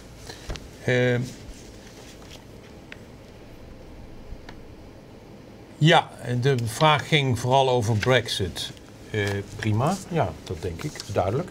Dan ga ik even naar een paar vragen die door de VEB zijn gesteld. Uh, de eerste vraag, ik lees die vraag even voor, dat moet ik doen, want anders zou die vragen ook gewoon uh, mondeling zijn gesteld door de VEB. Eh, de eerste vraag is de volgende. De organische groei op groepsniveau van 2,5% in 2019 was volgens Bril hoger dan geprognotiseerd en werd vooral gedragen door het segment e-books eh, in 2019 11,8%. Beschouwt Bril dit groeicijfer van 2,5% als een incidentele uitschieter? Olivier, ik denk een vraag voor jou. Uh, ja, nou, het uh, antwoord op de vraag is kort gezegd nee. het is geen enorme uitschieter, geen uitzonderlijke uitschieter. Het is iets boven het gemiddelde dat we nastreven. Maar omdat het een gemiddelde is, zul je soms cijfers krijgen die er licht onder liggen en soms cijfers krijgen die daarboven liggen. Oké. Uh, dan is de tweede vraag uh, van de VEB, uh, ik denk een vraag voor Peter. De autonome krimp bij printbooks zal naar verwachting aanhouden. In dit scenario zullen de overige segmenten een voortdurende compenserende autonome groei moeten laten zien om op groepsniveau op een organisch groeicijfer uit te komen dat voldoet aan de doelstelling. Nou, lijkt mij juist op zichzelf. Voor welke segmenten zal dat naar verwachting in 2020 het meest uitdagend zijn? En waarom, Peter? Ja, nou, um, om te beginnen, de migratie van onze producten van print naar e gaat uh, gestaag door. Um, natuurlijk is het zo dat voor de tijdschriften die migratie al ruim boven de 80% zit. Dus daar zitten we tegen een plafond aan. Maar voor de e-boeken zat hij vorig jaar nog op 40% en is hij in 2019 naar 44% gestegen. En we verwachten dat dat in 2020 over de 50% gaat. Kijken we naar 2019, waar eenzelfde effect zichtbaar was, was daardoor de totale boekenomzet, ondanks de daling in de printboeken, vertoonde een plus van 3% Dus in de boekenomzet zal, is de verwachting dat de migratie van print naar e bij zal dragen, significant zal bijdragen aan de totale groei van de onderneming. Zoals gezegd, in de tijdschriften zal dat min of meer stabiel blijven, omdat daar uh, die migratie al goed deels voltooid is. Dan hebben we nog een veel kleinere productcategorie, die originele bronnen, primary sources genoemd. Daar uh, is 90% online van en de printomzet uh, bedraagt ook maar 100.000 euro. Dus in, die, in zekere zin is het daar het meest uitdagend. Maar wij hebben er vertrouwen in dat we uh, de eventuele terugval, met name in de printboekenomzet, kunnen compenseren in onze e-boekomzet. Oké, dank. Eh, nog een vraag voor Peter, denk ik. Kan Bril met betrekking tot de grotere verkooptransacties, major sales deals, van 2019 nader toelichten hoe de renewal date zich verhield tot die van 2018 en 2017, als mede of die renewals tegen voor Bril gunstigere condities tot stand zijn gekomen. En hoe beoordeelt Bril het potentieel voor renewals in 2020? Um, het is wat moeilijk om daar exacte cijfers aan te hangen, omdat die renewals per uh, klant uh, verschillend zijn. Um, en ook afhangen van wat er precies met zo'n klant gebeurt. Ik zal dat kort proberen uit te leggen. De one-off deals, want dat is onderdeel van de vraag. Het woord zegt het al, die zijn eenmalig, maar wij hebben vaker ook bij deze gelegenheid gezegd dat daar een zogenaamde renewable basis in zit. Een klant die allerlei collecties e-boeken koopt uit uh, voorgaande jaren, die heeft daarmee toegang tot die jaren en uh, naar aanleiding van het gebruik en de tevredenheid die men heeft, kan men daarna een, een geheel of gedeeltelijk die collecties vernieuwen voor het nieuwe jaar. Maar het kan ook zijn dat ze tien collecties hebben gekocht in de one-off deal en maar één collectie in het nieuwe jaar verlengen en het jaar daarna misschien twee andere. Dus dat verschilt per klant. Het kan ook zijn dat wij een one-off deal sluiten met een consortium. Dus een groep van universiteiten. Daar kan het gebeuren dat sommige universiteiten wel vernieuwen, andere niet. Of dat het consortium groter wordt in het volgende jaar en ook mee gaat doen aan de deal, waardoor de deal ook weer groter wordt en eigenlijk de renewal groter wordt. Dus het verschilt uh, enorm. Voor ons is het belangrijkste dat iedere one-off deal een renewable potentie, om het zo maar te noemen, creëert, waar onze Salesforce gebruik van kan maken. Voor 2020 hebben wij gezien dat die renewals uh, goed zijn. Er zijn ook nog deals die nu onderhandeld worden, die al onderhandeld zijn. Bijvoorbeeld de deal met het Nederlandse consortium. Dat heeft een behoorlijke groei opgeleverd. Maar deals bijvoorbeeld in China zijn nog onderweg. Uh, en we zullen zien hoe dat uh, loopt. Maar over het algemeen is dat goed. Hoe dat in de toekomst zal gaan en wat de invloed zal zijn van COVID-19 op budgetten en dergelijke, is nu nog te vroeg om daar iets over te kunnen zeggen. Dank. Eh, nog een vraag eh, voor Peter. Eh, in 2019 deed Bril enkele acquisities van tijdschriften. Op welke wijze wordt Bril bij haar strategie, die mede gericht is op acquisities, gehinderd door de interne organisatie, die blijkens op één volgende jaarverslagen niet voldoende op niveau is? Nou, laten we die vraag eerst beantwoorden, Peter. Nou, um, we hebben inderdaad in 2018, uh, eh, tweede helft en eerste helft 2019, zijn we daar enigszins door gehinderd. En dat kwam voornamelijk door het vertrek van enkele sleutelfiguren uh, op de uh, finance afdeling en capaciteitsproblemen bij operations als gevolg van het creëren en migreren naar het nieuwe bril.com platform. Dus in die periode is ook onze aandacht voor mogelijke acquisities iets minder geweest. Even los van het feit, uh, en dat is al enkele jaren aan de gang, dat er niet heel veel uh, acquisitiemogelijkheden zijn. In de tweede helft van 2019 zijn we ons, toen die problemen ook goed deels achter de rug waren, zijn we ons weer volledig en vol op acquisities gaan richten.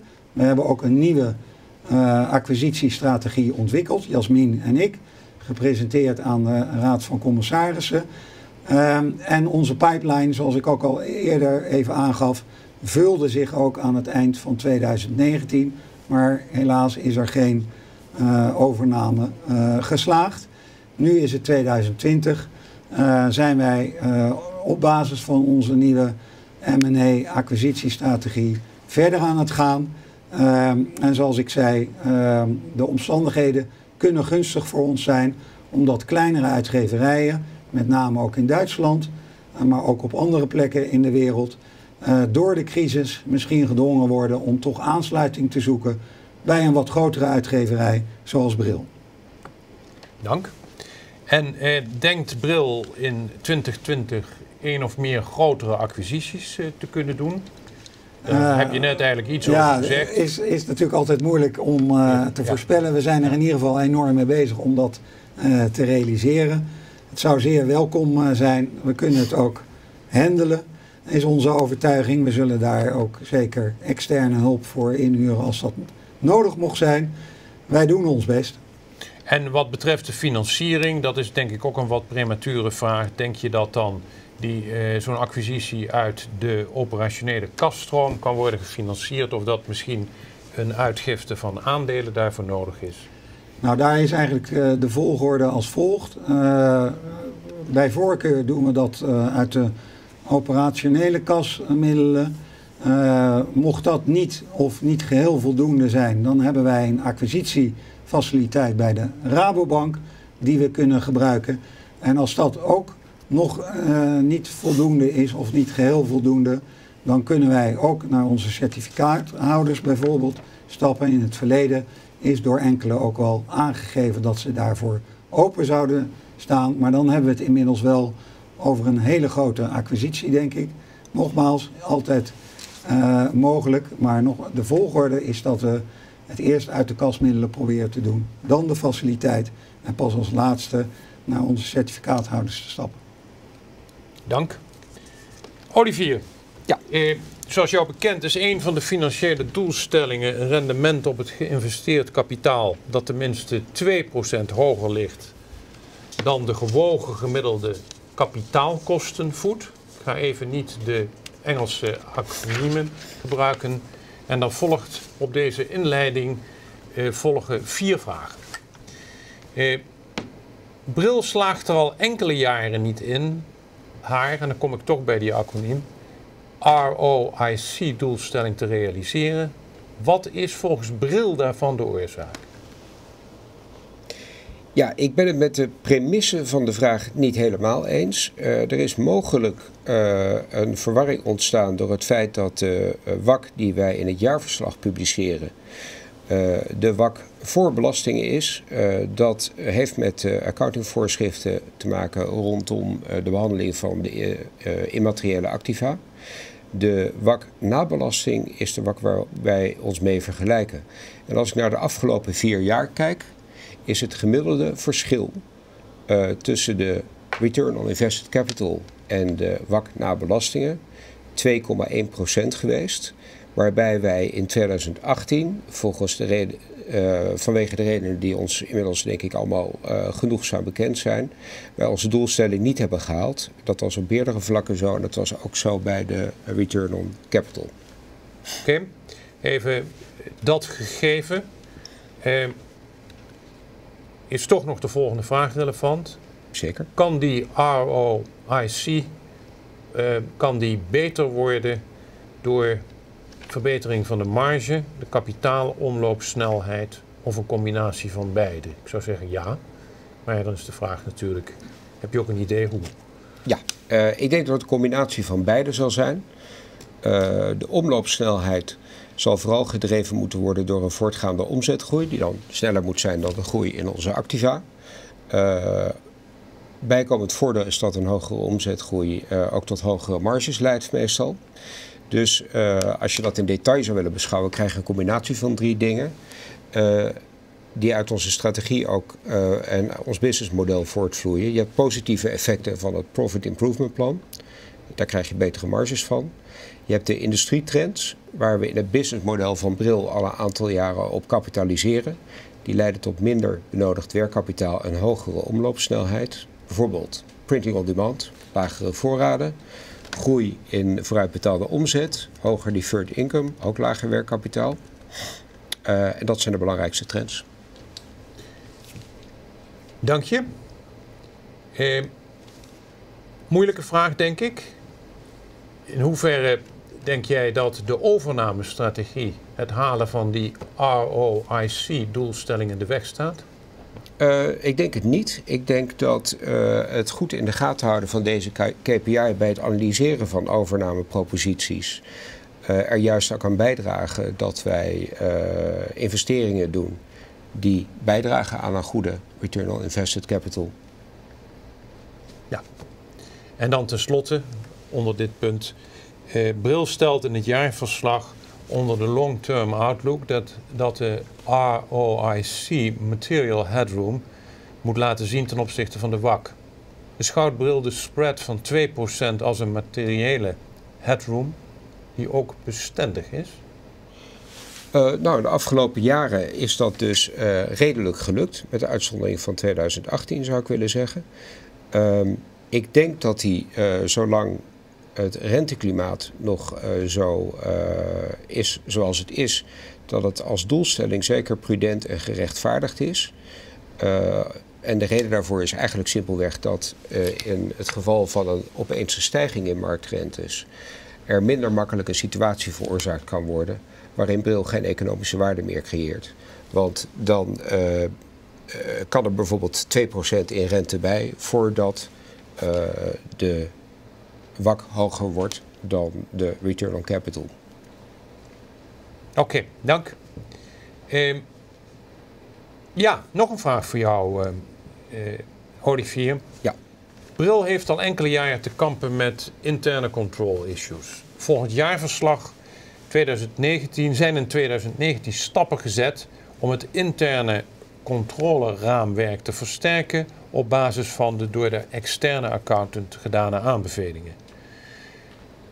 Kan je iets zeggen over de concrete aanbevelingen die PwC in de Management Letter 2019 heeft gedaan ten aanzien van het interne controleraamwerk, de kwaliteit van de bezetting van de staffuncties, de IT-systemen en de budget- en forecasting capaciteiten van Bril? Uh, jazeker. Um, als we kijken naar de uh, management letter um, van 2019, uh, de, de interim audit. Er zijn aanbevelingen gedaan over het interne controleraamwerk. En die verdelen zich eigenlijk grofweg in twee groepen van aanbevelingen. Eén zijn aanbevelingen op het gebied van de specifieke financiële processen. En de andere groep is uh, aanbevelingen op uh, uh, het gebied van IT General Controls. En met name die IT General Controls, uh, en dat is ook in de auditverklaring van PwC aangegeven, die vormen op dit moment een belemmering voor het uitvoeren van een controls-based audit en zorgen ervoor dat er een substantive audit grotendeels moet uitgevoerd worden. Um, als we kijken naar de financiële uh, aanbevelingen, uh, dan richten die zich vooral op de audit readiness. Er zijn een aantal internal control deficiencies aangewezen die zeer specifiek waren op onderdelen van financiële processen. Maar de meeste aanbevelingen die, die daar overheen gingen, richten zich op het gebied van audit readiness. Dank. Nog een vraag voor jou. Kan Bril, jij, toelichten? Sorry, ik heb nog twee, drie en vier uit de vragen. Uh, Ga rustig door. Ja, uh, over het tweede onderdeel zijn geen aanbevelingen gedaan, dus dat is simpel. Uh, over de derde vraag IT-systemen? Ja, daar heb ik kort op gereflecteerd bij mijn antwoord op het eerste stuk. En op het vierde onderdeel zijn ook geen specifieke aandelingen gedaan. Oké. Dus je was eigenlijk wel klaar? Uh, ja, ja, dan wel. Ik had het je goed aangevoeld. Kan Bril toelichten welke acties zij in 2019 heeft ondernomen wat betreft de drie genoemde aspecten? Upgrading financial management, enhancing visibility of certain implemented controls, and enhancing reporting systems and accounting processes? Ja, graag. Um, in 2018 eigenlijk al hebben wij de group controller vervangen. Um, en vlak daarvoor een deputy controller toegevoegd. En in mei 2019 is een nieuwe teamleader accounting aangetrokken. En daar is eigenlijk bijna de hele centrale as van uh, het uh, finance team is daarmee vervangen. Um, en daarnaast hebben wij via interim management additionele kennis en ervaring ingebracht om uh, mede te helpen de controle van 2019 te verbeteren, maar ook om operationele verbeteringen binnen het finance-proces uh, te realiseren.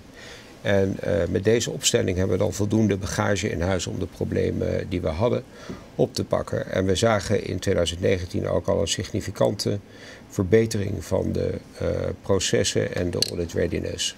Maar het grote, de grote vruchten moeten we daarvan echt in 2020 gaan, gaan plukken. Op de tweede vraag zichtbaarheid van ingevoerde interne controles en uh, reporting systems en accounting processes. Daar ben ik al even op ingegaan, maar misschien is het simpelste om een aantal voorbeelden te geven van uh, de uh, projecten die we hebben afgerond. En die zich richten op die audit readiness waar ik eerder over sprak. Um, die tegelijkertijd ook mogelijk maken dat we vaker intern periodiek maar ook zichtbaar voor uh, interne en externe doeleinden de uh, controles van onze cijfers uitvoeren. een van de belangrijkste is bijvoorbeeld een zichtbare controle en review van de aansluiting tussen omzet, facturatie en deferred income maandelijks. Uh, er zijn een paar andere voordelen. Het uh, vaste Activa-register is helemaal vanaf de grond op uh, schoongemaakt, opgebouwd en opnieuw geautomatiseerd. we hebben afsluitactiviteiten gedaan op de oudere jaren in de boekhouding.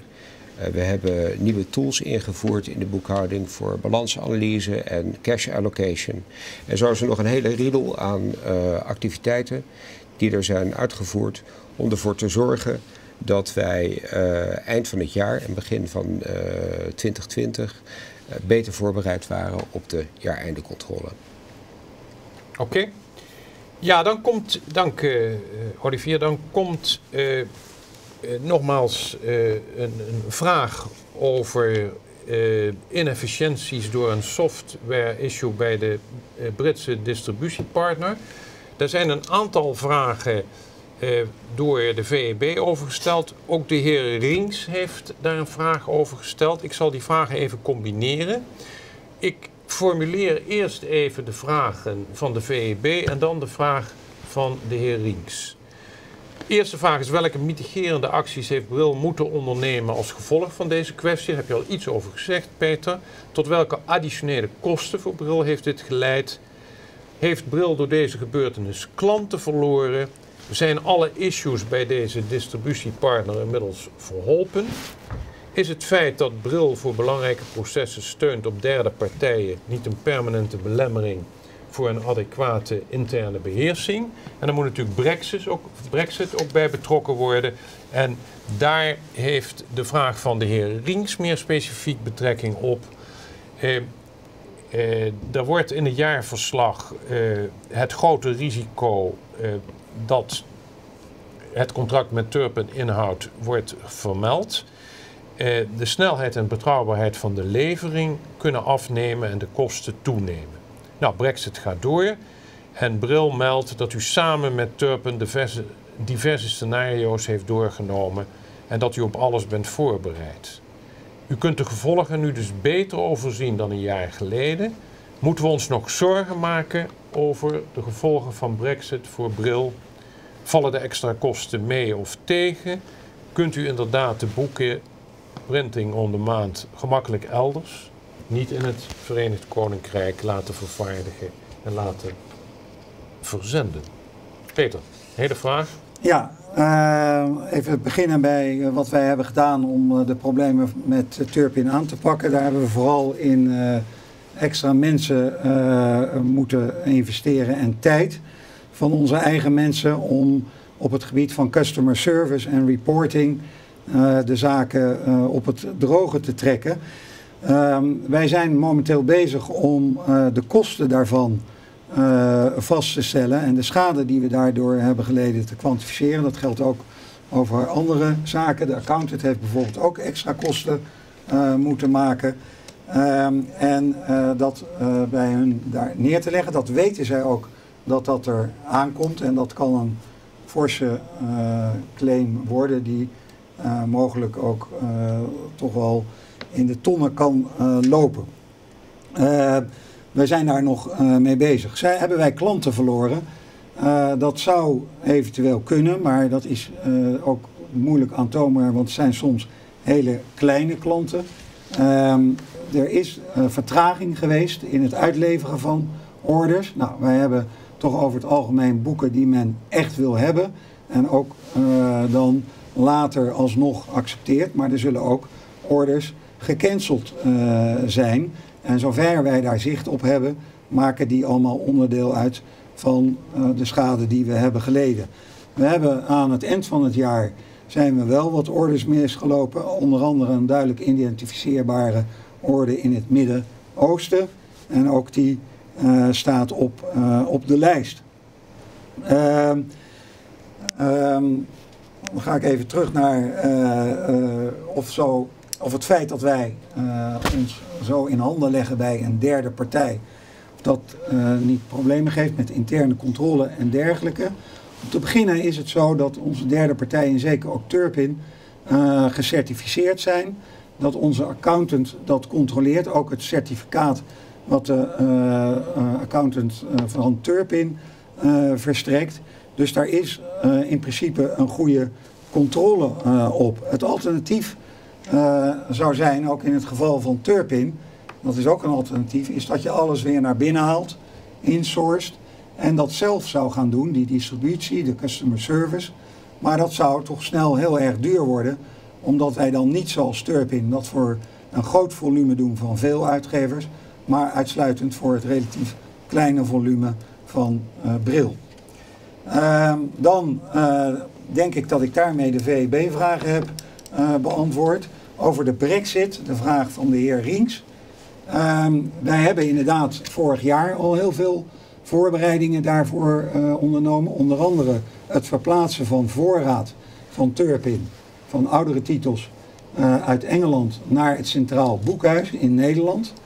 Uh, bij het Centraal Boekhuis is ook onze printer Printforce gevestigd, zodat er dus fronttitels die daar gedrukt werden uh, met stoktitels gecombineerd konden worden en eventueel bij een harde brexit ook gecombineerd verscheept zouden kunnen worden. Dat was al voorbereid. In de tussentijd heeft Centraal Boekhuis Printforce ook een, een printlijn, om het zo te noemen, in Engeland bij Turpin geïnstalleerd. Dus dat betekent dat er nog steeds voorraad ligt bij Turpin, maar dat er ook straks daar ter plekke frontlist titles uh, gedrukt kunnen worden. En dan eventueel ook weer vanuit Engeland verscheept kunnen worden naar onze uh, klanten. We hebben dus in die zin twee mogelijkheden. Plus nog een derde. Uh, als het door een eventuele harde, harde brexit echt uit de hand zou lopen in de UK en in Europa. Dan hebben wij natuurlijk nog eenzelfde situatie in Amerika. Waar wij ook een drukker hebben, POD-drukker. En waar ook voorraad ligt. Uh, maar dat is natuurlijk niet een gewenste optie. Uh, wij denken dat we met de twee mogelijkheden die we hebben, zowel als in, in de UK als op het continent, voldoende voorbereid zijn op een mogelijke harde brexit per 1 januari 2021. En natuurlijk hopen wij ook dat dat niet gebeurt. Mag ik dan uh, een tweede vraag van de heer Rinks uh, over de mogelijke groei van digitale publicaties uh, aan jou stellen, Peter? Eh, hij meldt dat het goed gaat met de digitale publicaties en de e-books in het bijzonder. Ja. Bril meldt een sterke groei in de verkopen. In hoeverre gaat die ten koste van de papieren publicaties en in hoeverre is het extra omzet? Hij vraagt zich af of hij er ver naast zit als hij denkt aan 75% vervanging van papier en 25% extra omzet. Voor 2017 rapporteerde Bril dat 50% van de omzet van Bril digitale producten betreft. Voor 2018 en 2019 zijn die percentages 53 en 56 procent. Dat is dus een toename met 3 procent per jaar. Eh, minder dan hij dacht toen hij las over de sterke groei. Hoe moet hij dat zien? Gaat die toename versnellen en zitten we over vijf jaar op 80% digitale omzet? Of moeten we verwachten dat er een plafond is van bijvoorbeeld 60%? Waar houdt u rekening mee? Ja, ik denk dat ik ook voor een deel deze vraag eh, al, eerder heb- beantwoord heb. Hè, in de ontwikkeling van de e-books en de groei die we daarin hebben gezien eh, in de afgelopen jaren. In 2019, maar zelfs nu ook weer in 2020. Die compenseert ruimschoots eh, de daling van onze printboeken. Ehm, ik laat de berekeningen van de heer Rinks eh, even voor zijn rekening. En en dat, anders het lijkt me ook dan vraag ik het aan Olivier, want die is daar veel beter in eh, dan ik. Maar eh, het is niet helemaal uit de richting. Het is natuurlijk zo dat wij bijvoorbeeld vorig jaar een, ehm, eh, een stijging van onze e-book omzet hebben gezien van bijna 1,3 miljoen. En een daling van de printboeken van ongeveer 6 ton, ruim 6 ton. Eh, dus dat is eh, de, de getallen die daar ongeveer bij horen. We doen daar ook verslag van ehm, in eh, ons jaarverslag. Ik meen op pagina 108 of ergens in die contraien. Maar het is zeker zo dat de migratie van print naar e voor ons een voordelige is. Bij de e-boeken, daar is nog heel veel ruimte voor groei. En daar zit ook zeker extra omzet bij. En wat nog belangrijker is in de huidige tijd, daar zit ook extra usage bij, zoals we dat noemen. Gebruik via ons online plat- platform. De boeken die vroeger op de plank stonden bij de bibliotheek werden vaak niet of nauwelijks gebruikt. Sinds het e-book er is, dat geldt niet alleen voor bril, is het gebruik van de content in boeken met sprongen gestegen. Oké. Ehm, ik kijk even voordat ik nog naar een vraag voor Olivier de Vlam ga. Eh, Robin, zijn er nog verdere vragen bij jou binnengekomen? Want ik zie hier alleen een herinnering aan de vraag van de heer Rinks. Kijken of ik daar nog even een berichtje over krijg. Dan is het voor jou nog de vraag, Olivier, de kosten van de accountant zijn in 2019 ten opzichte van 2018 significant volgens de VEB toegenomen. Heeft Bril overwogen een interne auditfunctie in te stellen om de kwaliteit van de interne controle te verbeteren en tegelijkertijd de auditkosten te beperken? Nou, waarom wel, waarom niet? Ja. Waarom niet? Eh, laat ik eh, van achter naar voren beginnen met beantwoorden. Eh, Bril herziet elk jaar de structuur wat betreft de interne controleorganisatie. En elk jaar herziet de Raad van Commissarissen onder andere hun besluit over het wel of niet instellen van een internal auditfunctie. Zulks ook in overeenstemming met de Corporate Governance Code. De conclusie eh, over dat besluit is eigenlijk altijd weer dezelfde. Ehm, er zijn andere maatregelen die, eh, die, die de verbetering in de processen meer zouden bevorderen dan het instellen van een, eh, een internal auditfunctie. En ik denk dat we daar afgelopen jaar vrij overtuigende bewijzen van hebben gezien. Ehm, dan de kosten. In 2019 hadden we inderdaad significant hogere kosten in de jaarrekening dan in 2018. Een eh, deel daarvan werd veroorzaakt doordat wij nog eh, additionele kosten uh, met betrekking tot 2018 hebben moeten verwerken in de jaarrekening 2019. De werkelijke uren besteed en de kosten van de controle 19 ten opzichte van de controle 18 waren lager. Oké.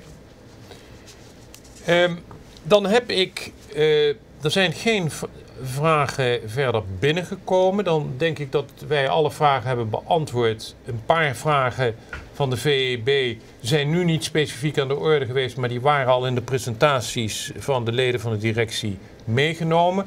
Er zijn ook nog wat vragen gesteld aan de accountant.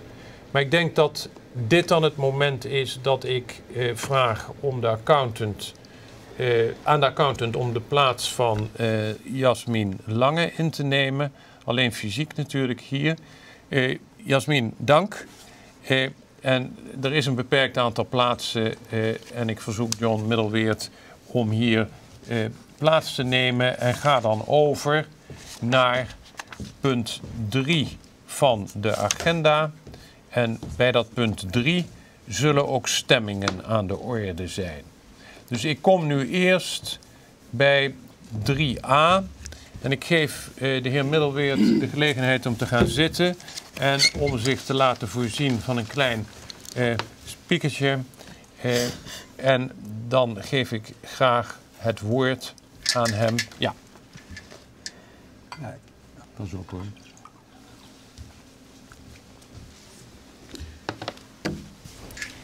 Voorzitter, ik ben gereed. Dan geef ik graag het woord aan jou, John. Ja, dank u voorzitter. Uh, ja, dames en heren, uh, graag maak ik gebruik uh, van de gelegenheid om verslag uit te brengen over onze werkzaamheden en een toelichting te geven op onze controleverklaring en onze werkzaamheden die we hebben uitge uitgevoerd gedurende het afgelopen jaar. Was voor ons het vijfde jaar weer. Het was ook voor mij de vijfde keer dat ik uh, dit team mocht uh, leiding geven, aan, aan het team mocht leiding geven. Het is ook tevens mijn laatste jaar dat ik dat mag doen in verband met de rotatievereisten die dat verlangen. Um, ik wil graag gedurende de aankomende periode even stilstaan bij een zestal onderwerpen. En um, deze onderwerpen betreffen met name het controleproces, de conclusies van onze controle, de belangrijkste aandachtspunten, dus audit matters, materialiteit en de rijkwijde van de controle, het risico op fraude en het Management Board Report, het bestuursverslag. We zijn in een vroeg stadium al gestart met de controle. We hebben overleg gevoerd met de organisatie en in overleg getreden met het financiële management. Naar aanleiding van, deze, van onze kennis van de organisatie en ook de ontwikkelingen waarmee de organisatie wordt geconfronteerd, hebben wij een controleplan opgesteld. Hierin hebben wij onze aandachtsgebieden beschreven. Nadat wij dit plan hebben besproken met het managementboard, hebben we het in detail besproken in een vergadering met de Raad van Commissarissen. Op basis van ons plan hebben wij de interimcontrole uitgevoerd.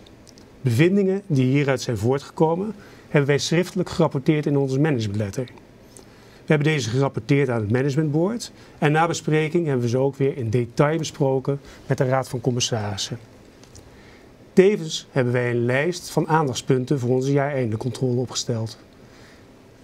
In deze lijst stond met name die aandachtspunten die ons vorig jaar voor de voeten hebben gelopen ten aanzien van het snelle afsluitproces. In onze werkzaamheden hebben wij ook de activiteiten in het buitenland natuurlijk betrokken. We hebben de Amerikaanse accountant die verantwoordelijk is voor de controle van de Amerikaanse deelneming, hebben we in een vroeg stadium geïnstrueerd. En daarnaast hebben we ook met Olivier contact gehad en besproken wat de effecten zijn van de software-implementatie bij uh, de service provider in zowel Engeland als in Amerika. Want zoals u weet, als gevolg van deze uh, software-implementatie bij deze externe service provider, zijn, heeft deze serviceverlener problemen met, met problemen te kampen gekregen om uiteindelijk op tijd, tijdig en ook de juiste informatie te rapporteren aan Bril. Samen met de vennootschap hebben wij een plan ontwikkeld om invulling te geven aan het risico dat de rapportages op jaareinde niet op tijd gereed zouden zijn.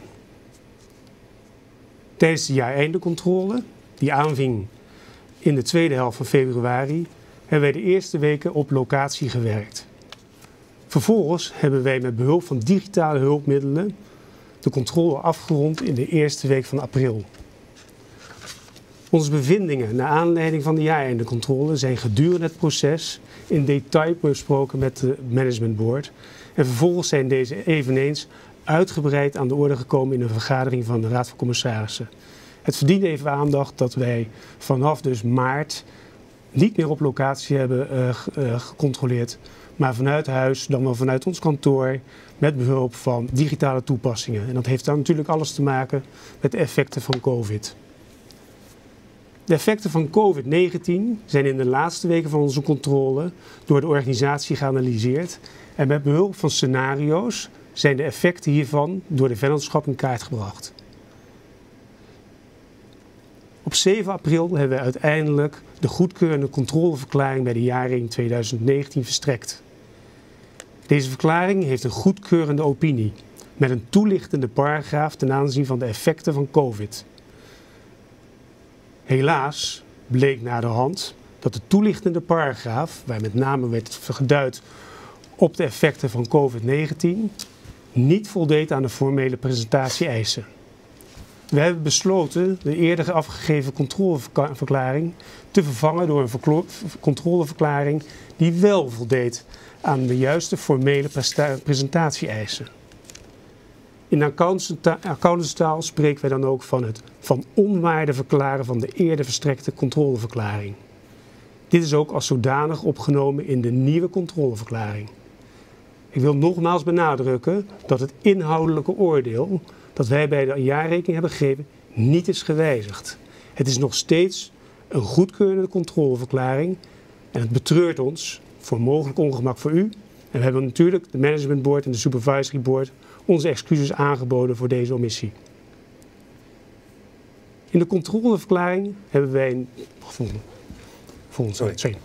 In de controleverklaring hebben wij een drietal key audit matters uh, benoemd. En die volgende ook weer. Sorry. Ja. Verder. Ja. Hebben we een drietal key audit matters opgenomen. De betreffende tekortkomen in het interne controleframework, daar waar al eerder over is gesproken. De waardering en de significante uh, uh, veronderstellingen die worden gehanteerd in de waardering van de immateriële vaste activa. En het steunen op de rapportages van een externe service provider, waar we het ook al eerder over hebben gehad. Ik wil graag deze drie key audit matters per stuk behandelen. Gedurende de afgelopen jaren hebben wij gerapporteerd over de tekortkomingen in het stelsel van interne beheersingsmaatregelen. Het proces van verbetering is in gang gezet. Echter op onderdelen, met betrekking tot de automatisering en de beheersingsmaatregelen rondom omzet, moeten nog verbeteringen worden aangebracht. Dit is een proces waarbij in IT moet worden geïnvesteerd, maar ook het gedrag en bewustzijn van de medewerkers moet worden aangepast. We hebben tijdens onze controle hierdoor een voornamelijk gegevensgerichte controle uitgevoerd. De immateriële vaste activa, het volgende key audit matter is dat. De immateriële vaste activa vormen een belangrijk onderdeel van de actiefzijde van de balans. Betreft 70% van het balanstotaal. Inschattingen door het management ten aanzien van toekomstige omzetontwikkeling, maar ook het gebruik van de zogenaamde disconteringsvoet, kunnen direct een materieel effect hebben op de waardering van de immateriële vaste activa. Daarom hebben wij samen met onze specialisten, die, onze waarderingsexperts, hebben wij deze veronderstellingen getoetst en geanalyseerd. En als laatste, derde punt van de Key Audit Matter, dat ook beschreven is natuurlijk is in een controleverklaring, is het punt van het vertrouwen op de derde partij. Door een herautomatisering bij een van de belangrijkste externe dienstverleners van Bril werd de onderneming geconfronteerd met onjuiste en niet tijdige rapportages die input zijn voor de financiële verslaglegging. We hebben extra werkzaamheden uitgevoerd op de rapportages die zijn opgesteld door de accountant van deze externe service provider. Ze hebben, deze accountant heeft een ISA E 3402 rapportage opgesteld en daarop hebben we extra getoetst. We hebben daarnaast voorraadinventarisaties uitgevoerd in Engeland. We zijn er naartoe geweest en gesproken ook met de desbetreffende accountant van Turpin. En als laatste, we hebben detailtests uitgevoerd op de omzet, maar daarnaast ook afloopcontrole gedaan op de debiteurenposities. Deze werkzaamheden, en met name ook de key audit matters, hebben niet geleid tot een aanpassing van ons oordeel. Onze controle wordt centraal uitgevoerd uh, in Leiden. Hierbij hebben wij een, een, het belang van de onderdelen van de groep beoordeeld. Ik heb op de slide nog even aangegeven welke componenten dan in deze groep zitten. We hebben de controle uitgevoerd met een bepaalde materialiteit en die is 145.000 euro. Relatief laag voor een, een beursgenoteerd fonds. We hebben alle misstatements, dus alle aanpassingen die wij hebben geconstateerd tijdens onze controle, die hebben gecommuniceerd met het management. Maar dan moesten ze wel hoger zijn dan 7200 euro. Deze bevindingen zijn daarna ook weer gecommuniceerd met de Raad van Commissarissen. Dan is het laatste punt het risico van fraude. Het risico van fraude is niet onze primaire verantwoordelijkheid op de, op de toetsen dan wel te detecteren. Die verantwoordelijkheid ligt bij het managementboard en bij, de toezicht, bij het toezicht door de Raad van Commissarissen. Evenwel, in onze planningsfase hebben we diverse risicofactoren natuurlijk wel geanalyseerd.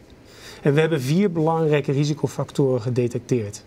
Dat betreft managementsturing op de, op de organisatie, omzetontwikkeling en omzetverantwoording, contracten met agenten in het buitenland en schattingen die zijn gemaakt door het management. Deze vier belangrijke punten hebben we in detail gecontroleerd door middel van detailtesten. We hebben bijvoorbeeld detailtesten gedaan op de omzet. We hebben specifiek gekeken naar de journaalposten die zijn gemaakt, handmatige journaalposten die zijn gemaakt. En we hebben daarnaast ook de contracten die zijn gesloten met agenten in het buitenland, hebben we geanalyseerd of de vergoeding die wordt betaald aan de agenten een, vergoeding is die uh, representeert de inspanning die deze agent ook doet alles gericht om te voorkomen dat de vennootschap een contract heeft gesloten om uiteindelijk een uh, steekpenning of iets dergelijks te betalen aan die specifieke afnemer die die agent aanlevert. Ten aanzien van de schattingen zijn we in detail door de balans gegaan en hebben alle schattingen die materieel zijn, hebben we geanalyseerd en beoordeeld niet alleen voor dit jaar, maar ook ten opzichte van vorig jaar. En ook hoe de uitkomsten zijn geweest van deze schattingen ten opzichte van, van de schattingen die dus gemaakt waren in 2018. Op geen enkele wijze hebben wij indicaties gekregen dat er fraude is gepleegd. De volgende alsjeblieft. Dan de overige informatie, die is opgenomen in de jaarrekening. Uh, betreft met name het bestuursverslag en daarnaast ook natuurlijk de overige gegevens. Het bestuursverslag hebben we beoordeeld, hebben we gelezen en we hebben beoordeeld of het consistent is met onze kennis van de organisatie, maar ook of het in evenwicht is met de financiële stukken die in de jaarrekening zijn opgenomen. En daarnaast, als laatste, hebben we het nieuwe remuneratierapport doorgelezen en hebben we ook beoordeeld of dit voldoet aan de Nederlandse wet. Hierop zijn geen aanmerkingen te maken. Dit was het, uh, voorzitter. Dank. Uh, er is de gelegenheid om vragen te stellen, maar van die gelegenheid is uh, geen gebruik gemaakt. Ik uh, ga nog even terug naar het vorige agendapunt, want ik word herinnerd aan wat de heer Nieuwe Wemen mij overigens ook al had gemeld, dat hij bij, de agenda, bij agendapunt 2 nog een verklaring wil afleggen namens uh, als ik het goed heb. Dus wij kijken even naar de heer Nieuwe Wemen. Dank u wel, uh, voorzitter. Uh, het gaat inderdaad om een uh, verklaring van groot certificaathouder Montchevin bij agendapunt 2. En die luidt als volgt. Montchevin is sinds 2012 groot certificaathouder van Koninklijke Bril en houdt al jaren 24,7% van de uitstaande certificaten. Daarmee zijn wij niet alleen de grootste kapitaalverschaffer, maar zijn wij ook langer bij de onderneming betrokken dan menig ander groot certificaathouder, lid van de RVC en of lid van de directie. Wij richten ons bij al onze investeringen op de lange termijn. Zie onder meer ons belang van 14,9% in Amsterdam Commodities alsmede ons belang van 15,2% in Ordina, waar wij sinds respectievelijk 2010 en 2014 als groot aandeelhouder betrokken zijn. Als betrokken aandeelhouder bekleedt Montjevin bij beide vennootschappen een positie op de Raad van Commissarissen.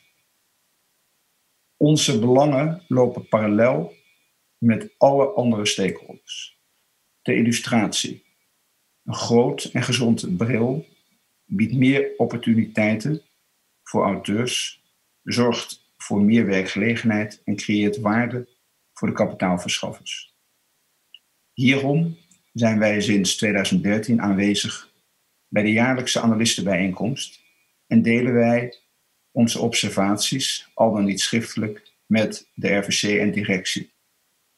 Wij constateren dat de financiële resultaten over 2019 opnieuw achterblijven bij de door bril gestelde ambities en hetgeen wij gezond achten. Een te beperkte schaal, achterblijvende winstgevendheid en of te beperkt rendement op geïnvesteerd vermogen leidt tot het in geding komen van de continuïteit van Bril als zelfstandige onderneming. Hetgeen wij ten zeerste zouden betreuren. Wij hechten als groot certificaathouder belang aan Bril als zelfstandige uitgever en verzoeken Bril tot het aanscherpen van een strategie waarin onze observaties worden geadresseerd en deze eenduidig te communiceren. Tot zover de verklaring van Montjevin bij agenda punt 2. Ik denk uh, dat ik uh, namens alle leden van uh, de directie en de Raad van Commissarissen kan verklaren dat er goede nota van is genomen. En ik ga nog even naar een vraag van de heer Freke. voorgesteld wordt om het dividend te passeren. Ja, dat is, dat is gewoon, er wordt geen dividend uitgekeerd. Door de wijze van vergaderen wordt het culturele dividend dit jaar ook gepasseerd. Bent u voornemens om het culturele dividend volgend jaar weer te hervatten? Ik denk zonder meer ja, maar misschien is de uh, strekking van deze vraag of dan ook het culturele dividend 2020 misschien alsnog wordt uitgekeerd. Het uh, culturele dividend, zoals dat altijd bij onze aandeelhoudersvergadering uh, is uitgekeerd, zal zeker in de toekomst weer uitgekeerd worden als wij fysieke vergaderingen kunnen houden in de plantijn. Het is een goede suggestie om, uh, als dat volgend jaar al het geval is, wat we natuurlijk allemaal hopen, om dan uh, misschien een extra mooi cultureel dividend uit te keren. In de tussentijd zou ik u toch nog een keer willen wijzen op ons prachtige jaarverslag, waar u ook op de, onze achtergrond uh, hetzelfde design ziet. Want dat is op zich al, zou ik durven zeggen, los van de inhoud misschien volgens sommigen, maar in ieder geval de manier waarop het is gemaakt cultureel uh, dividend. Een schitterend jaarverslag met een prachtig artikel uh, over uh, Skelliger. Dus, zo, dus, dat is het dividend wat we voor dit jaar beschikbaar hebben op dat punt. Oké, dank Peter. Ik denk dat ik dan nu overga naar punt 3b. Vaststelling van het bezoldigingsbeleid 2019 voor de directie en de Raad van Commissarissen. Ik verwijs naar het gestelde in het jaarverslag op pagina 40 en 41. En ik eh, stel eventuele vragen aan de orde. Ik zie hier op mijn scherm voor mij niets verschijnen. Dan denk ik dat wij kunnen overgaan. Moment. Ja, ik denk dat we dan kunnen overgaan tot stemming.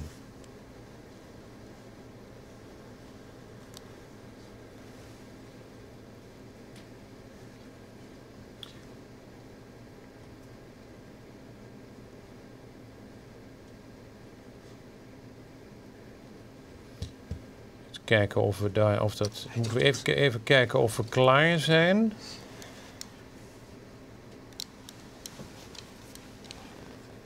Loopt die nog? Nou, dan wachten we nog heel even. Het wordt, een, eh, wordt spannend.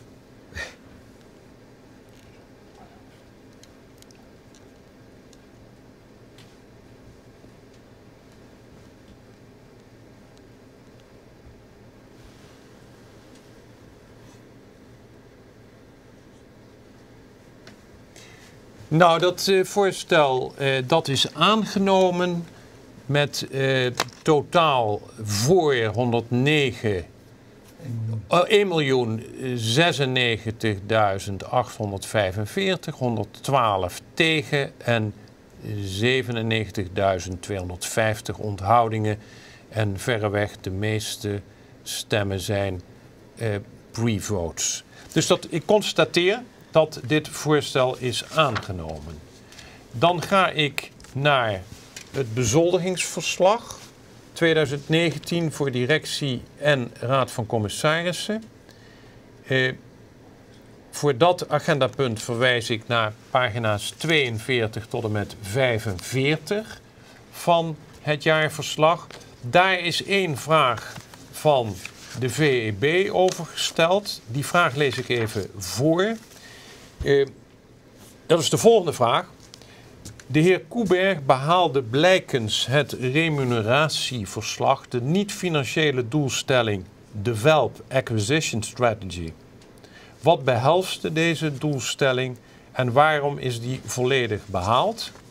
Antwoord daarop is: deze doelstelling hield in het schrijven van een intern stuk met daarin een nieuwe en of geüpdate versie van onze M&A-strategie en het opstellen van een targetlijst voor zowel uitgeverijen als bepaalde uh, journal titles.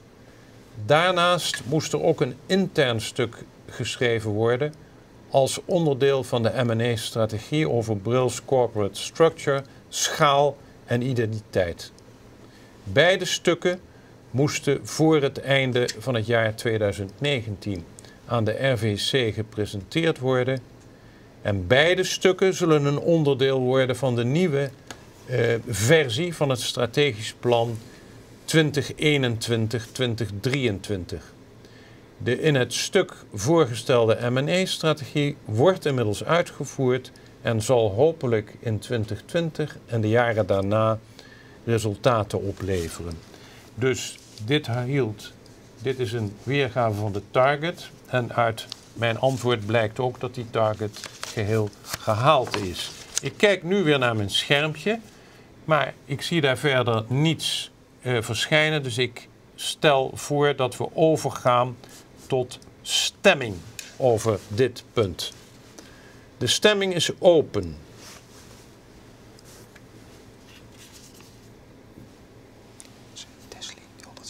En ik hoor wel wanneer de stemming niet meer loopt. Hij is beëindigd. Hij loopt nog.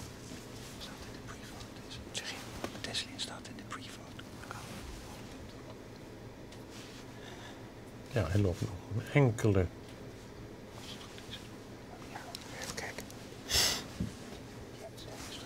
Dit is overigens een adviserende stem, meld ik even.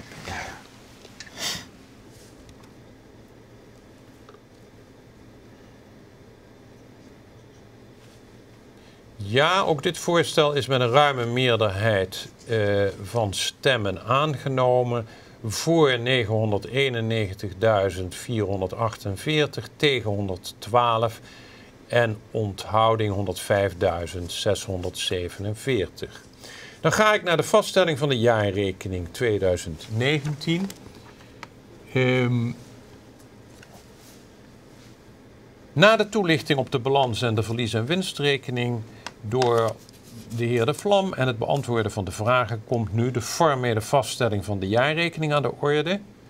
Ik vermeld, ik denk echt een overvloede, dat door PwC op 7 april 2020 de accountantsverklaring is afgegeven en deze is, het werd al gemeld, herzien op 12 juni 2020. En ik kijk nog even of hier vragen over zijn binnengekomen verder ik denk dat dat niet het geval is. Uh, en dan ga ik uh, dit voorstel, dat is dus 3D, dat ga ik nu in stemming brengen.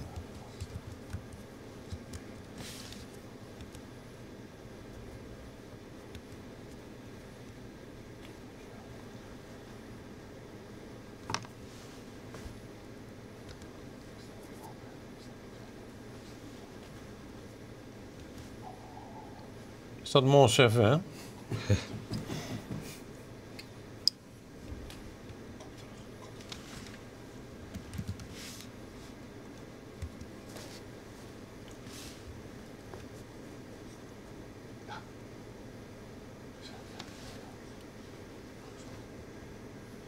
Ja, de stemming is uh, uh, voltrokken.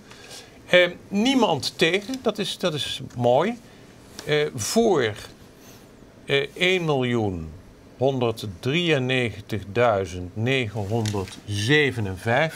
en onthouding 250. Ze constateert dat de jaarrekening is vastgesteld. Dan kom ik aan punt 4. Dat zijn ook weer stempunten.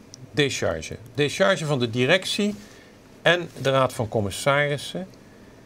Eh, de leden daarvan worden conform de Corporate Governance Code als twee afzonderlijke agendapunten geagendeerd. Eh, en ik breng in stemming allereerst de decharge van de leden van de directie. Dat is dus een stempunt, dat is 4a. Overeenkomstig artikel 29 lid, lid 6 van de statuten van Bril wordt na het vaststellen van de jaarrekening voorgesteld decharge te verlenen aan de directie voor het door hen gevoerde bestuur, voor zover van dat bestuur uit de jaarrekening blijkt. En ik zie daarover verder geen vragen binnenkomen. Ik geef dit punt in stemming.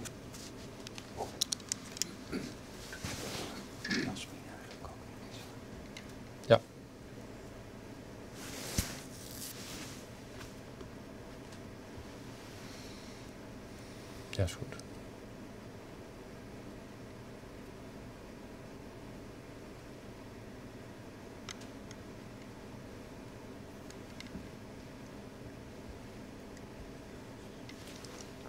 Ja, ook hier is uh, de stemming afgelopen. Uh, tegen uh, eh, 9600 onthouding 256 en voor 1.087.351. Ik constateer dat het voorstel om de leden van de directie decharge te verlenen is uh, aangenomen. En dan komen we nu op een belangrijk punt, de decharge van de leden van de Raad van Commissarissen. En dan zou ik het prettig vinden als dat punt in stemming komt, als Jasmin weer naast mij komt zitten. Ik vind deze morele steun belangrijk, overeenkomstig. Dank je, John. Want het betekent dat jij je plaats weer moet inruimen. Eh, overeenkomstig, artikel 29, lid 6 van de statuten, wordt na het vaststellen van de jaarrekening voorgesteld decharge te verlenen aan de leden van de Raad van Commissarissen voor het door hen gevoerde, uitgeoefende toezicht op het bestuur. En ik kijk even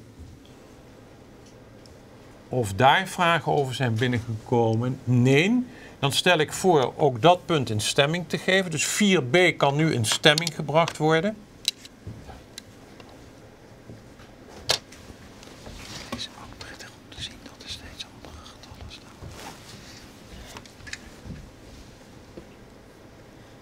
misschien al gebeurd, hè?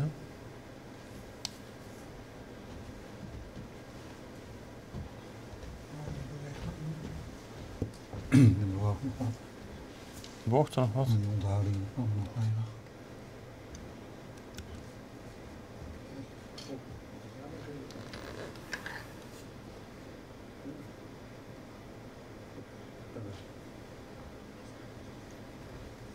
Ja, stemming eh, is gebeurd uh, tegen eh, 9600, onthouding 256, voor 1.087.351. Dus ik constateer dat ook dit voorstel is aangenomen. Dan ga ik naar het punt voorstel tot statutenwijziging. Nou, u hebt van dat voorstel kennis genomen en dat voorstel beoogt voor het grootste deel een aantal uh, wetswijzigingen in de statuten te incorporeren. Er is door bepaalde certificaathouders eh, commentaar geleverd op bepaalde leden van artikel 22 van de voorgestelde statutenwijziging. En het ging daar in het bijzonder om eh, de vraag of de mogelijkheid om eh, te voorzien in een vacature in de Raad van Commissarissen, als daarin niet is voorzien door de aandeelhoudersvergadering, of die mogelijkheid wel voldoende scherp was omschreven. En op voorstel van de certificaathouder Teslin is een tekst aangeleverd waar de directie en de Raad van Commissarissen geen enkel probleem mee hebben en die in wezen het, het, het voorstel in stand houdt, niet kan worden gezien als een destructief amendement dat hier niet behandeld zou kunnen worden, maar waar wordt aangegeven dat degene die tijdelijk eh, als commissaris wordt aangewezen door de Raad van Commissarissen, dat dat tijdelijk ook echt tijdelijk is en dat er ook een verplichting is voor de Raad van Commissarissen om zo snel mogelijk eh, de procedure te beginnen, waardoor de aandeelhoudersvergadering op voordracht van de Raad van Commissarissen een nieuwe commissaris kan benoemen. Ik denk dat met deze toelichting en eh, de tekst van de leden 19, 20 en 21 van artikel 22, we hebben die, die teksten natuurlijk allemaal goed bestudeerd, dat we dit in stemming kunnen brengen. Dus ik geef het stempunt 5 geef ik in stemming. Voorstel tot statutenwijziging, inclusief de door eh, certificaathouder Teslin, door de directie en de Raad van Commissarissen geaccordeerde amendering. En ik weet dat ook eh, eh, zich daar al voor heeft uitgesproken. En ik kijk naar. Maar er wordt nog gestemd. Maar spannend wordt het niet.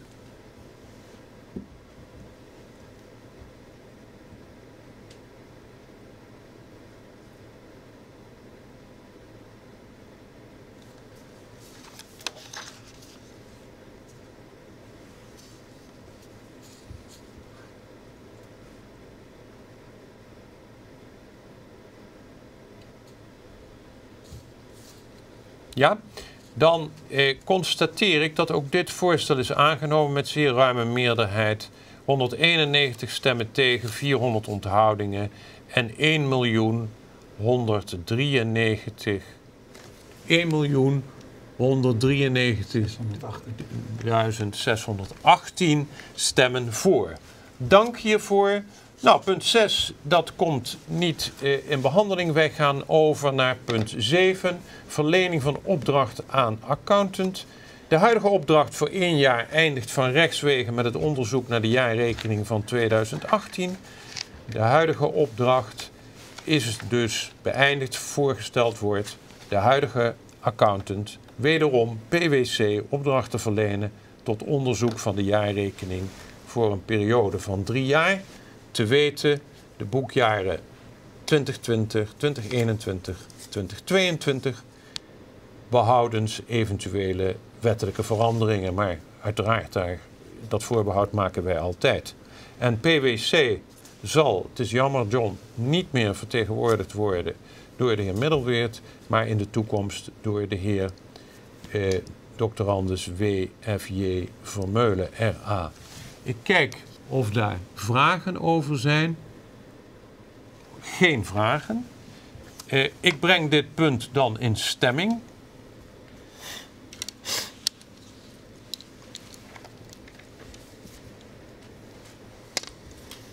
En ik wacht even af tot de stemming is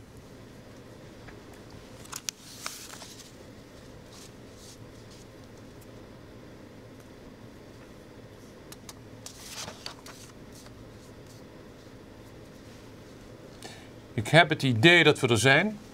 En ja, dit is mooi voor PwC, vind ik. Geen enkele stem tegen. Uh, wel toch 151 onthoudingen. Maar 1.193.958.000 stemmen voor. En wij zien de samenwerking, eh, de continuering daarvan, zij het eh, met een andere persoon als de eindverantwoordelijke voor PwC, met vertrouwen tegemoet. Ik kom wederom bij een stempunt. Ik kom bij stempunt 8. U ziet het staan. Machtiging van de directie om onder goedkeuring van de Raad van Commissarissen 10% van het geplaatste kapitaal te verwerven. Voorgesteld wordt om de directie, net zoals in de voorafgaande jaren, te machtigen om voor een periode van 18 maanden vanaf heden onder goedkeuring van de Raad van Commissarissen via commissionairs of anderszins onder bezwarende titel tot maximaal 10% van het geplaatste kapitaal volgestorte, het zullen meestal certificaten van aandelen zijn, te verwerven tegen prijs die ten tijde van de verkrijging ten hoogste 5% boven de beurskoers mag liggen. Ik zie geen verklaring. Ik geef wel het woord aan de heer Nieuwe namens het administratiekantoor, want hij wil namens Montservin een verklaring afleggen. Marco, je hebt het woord. Dankjewel, Steven. Eh, de verklaring uh, heeft betrekking op uh, de agendapunten 8, 9a en 9b. En die is inderdaad van Montchevin. Het is van groot belang dat de directie zich primair toelegt op het beheersen van de kostenstructuur, het vergroten van de autonomie, sorry, de, het vergroten van de autonome omzetgroei en de dialoog met certificaathouders tijdig aangaat indien additioneel kapitaal noodzakelijk blijkt te zijn.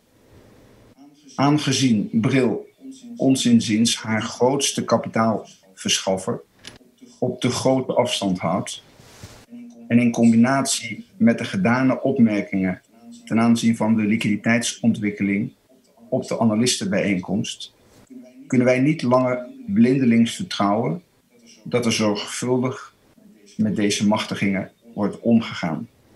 Derhalve stemmen wij tegen bij agendapunten 8, 9a en 9b. Dankjewel. Um, ik zie geen verdere chats binnenkomen, dus ik denk dat we eraan toe zijn na deze verklaring om punt 8 in stemming te brengen. De stemprocedure kan weer vervolgd worden.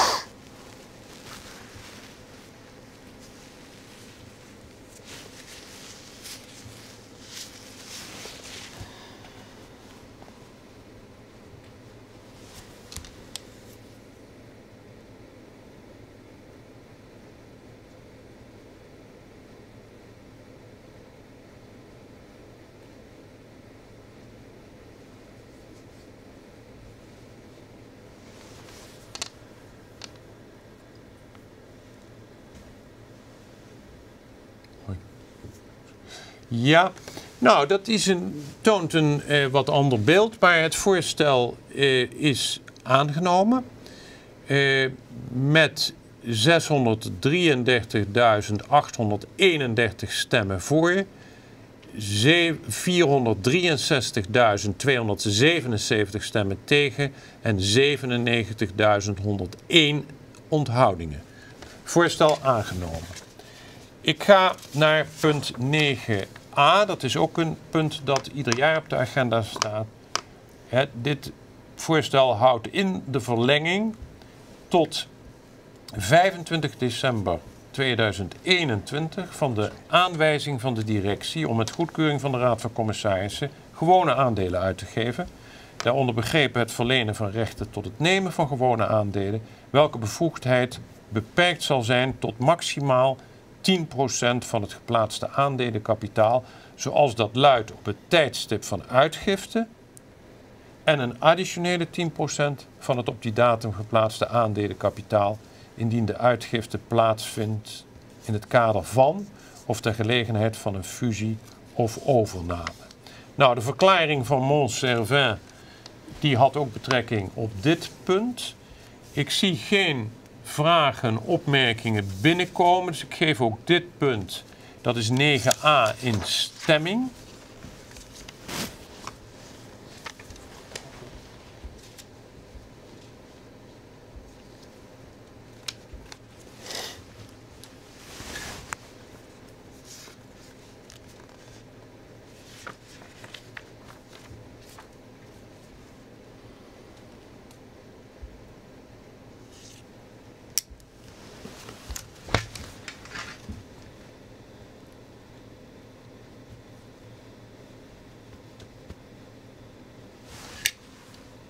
Ja, ook dit voorstel is aangenomen met 634.060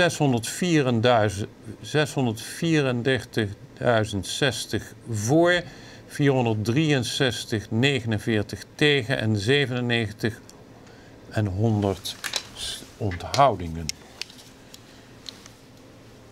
Dan ga ik naar punt 9b. Verlenging van de aanwijzing van de directie als het bevoegde orgaan tot beperking of uitsluiting van het voorkeursrecht. En dit voorstel houdt in de verlenging tot 25 december 2021 van de aanwijzing van de directie om met goedkeuring van de Raad van Commissarissen het voorkeursrecht van houders van gewone aandelen te beperken of uit te sluiten wanneer op grond van de bevoegdheid die inmiddels is verleend eh, na aanname van agenda punt 9a aandelen worden uitgegeven en rechten en of rechten tot het nemen van aandelen worden verleend. En dat gaat dan uiteraard ook tot 10% van het geplaatste aandelenkapitaal, zoals dit luidt op het tijdstip van uitgifte en nog weer voor een additionele 10% voor zover ook weer van het op dat tijdstip geplaatste aandelenkapitaal, indien de uitgifte plaatsvindt in het kader van of ter gelegenheid van een fusie of overname. Daar heeft, is de stemming ook bijna voltrokken, denk ik. Ik wacht nog heel even.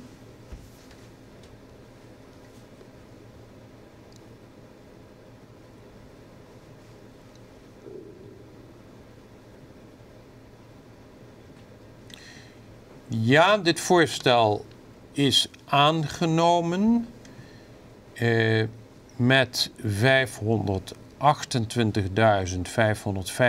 stemmen voor, eh, 463.165 stemmen tegen en eh, 202 497 onthoudingen.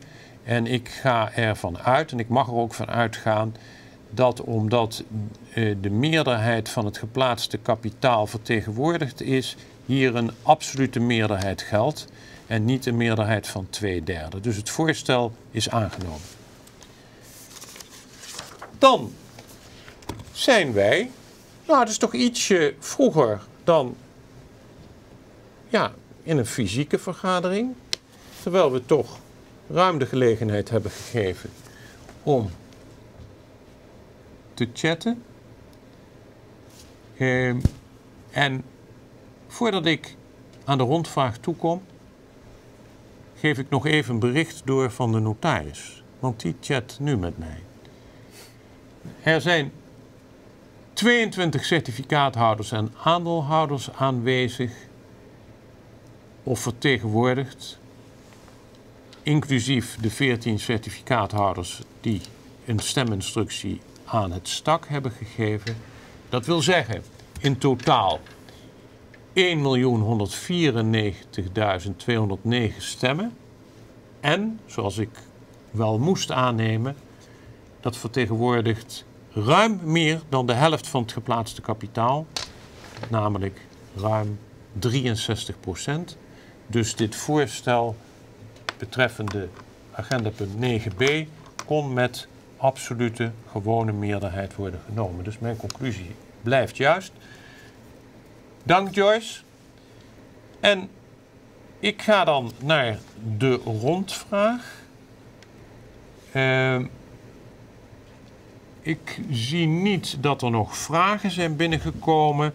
En mag ik dan als eerste en misschien ook als laatste het woord geven aan de heer Nieuwe Wemen, die eh, gevraagd heeft in de rondvraag eh, wat te mogen zeggen. Ik weet niet of hij dat op instructie doet of dat hij namens het administratiekantoor wil spreken. Dank voorzitter. Dit is een, uh, een bericht uh, namens het AK. Het luidt als volgt.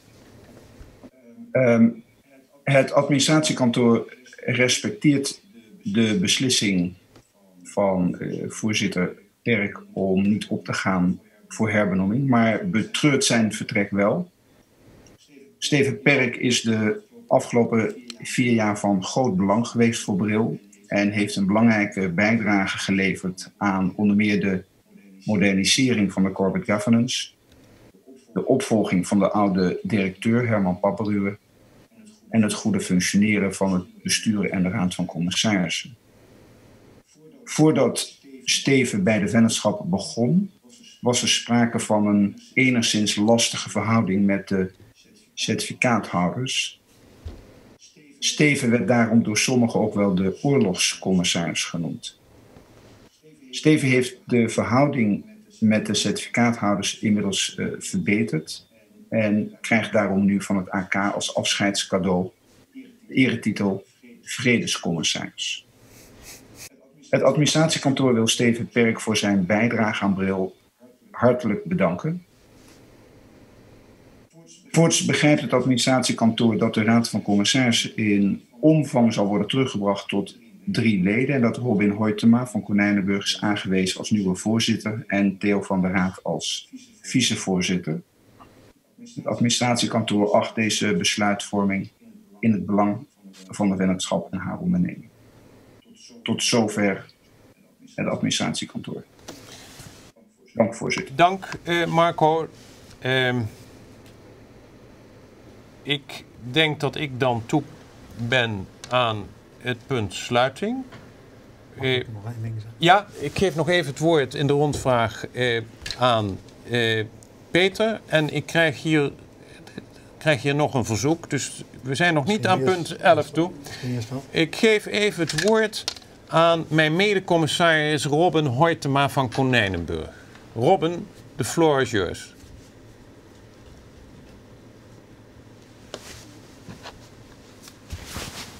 Je bent. Dankjewel. Ik uh, wilde heel graag, ook namens mijn collega's, toch even iets zeggen op deze vergadering waar jij uh, voor het laatst bent, Steven. Uh, zoals al gememoreerd is, ben je in een relatief uh, moeilijke situatie aan het roer gekomen. Uh, in eerste instantie moeilijk omdat het zo mogelijk nog warmer was dan vandaag in een zaaltje in augustus. En, uh, maar we hebben dat, uh, dat is toen, dat heeft nog iets langer geduurd. Maar het is absoluut, heeft dat een goede uitkomst gehad dat jij ons hebt geholpen bij een, in die ruim 3,5 jaar. Door een aantal, onder meer juridisch, een stukje je, je vakgebied, zaken op te lossen. Samen met de stak denk ik dat we een veel modernere manier van, van certificering hebben.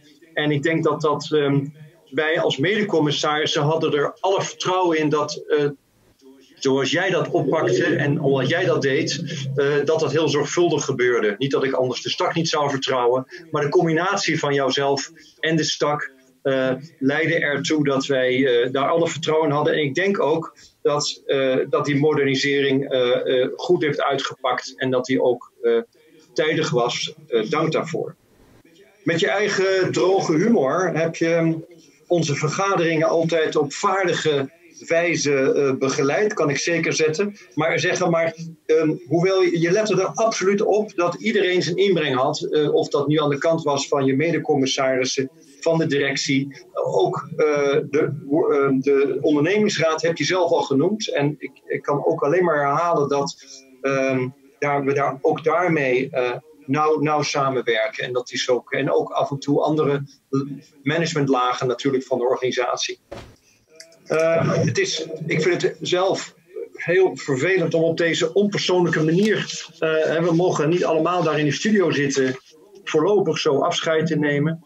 Maar vanzelfsprekend zullen we dat in de nabije toekomst op een uh, manier doen. En, uh, maar, tot, maar tot die tijd, en, dan gaan we ook terugkijken om, zoals dat helemaal hoort bij een echt afscheid.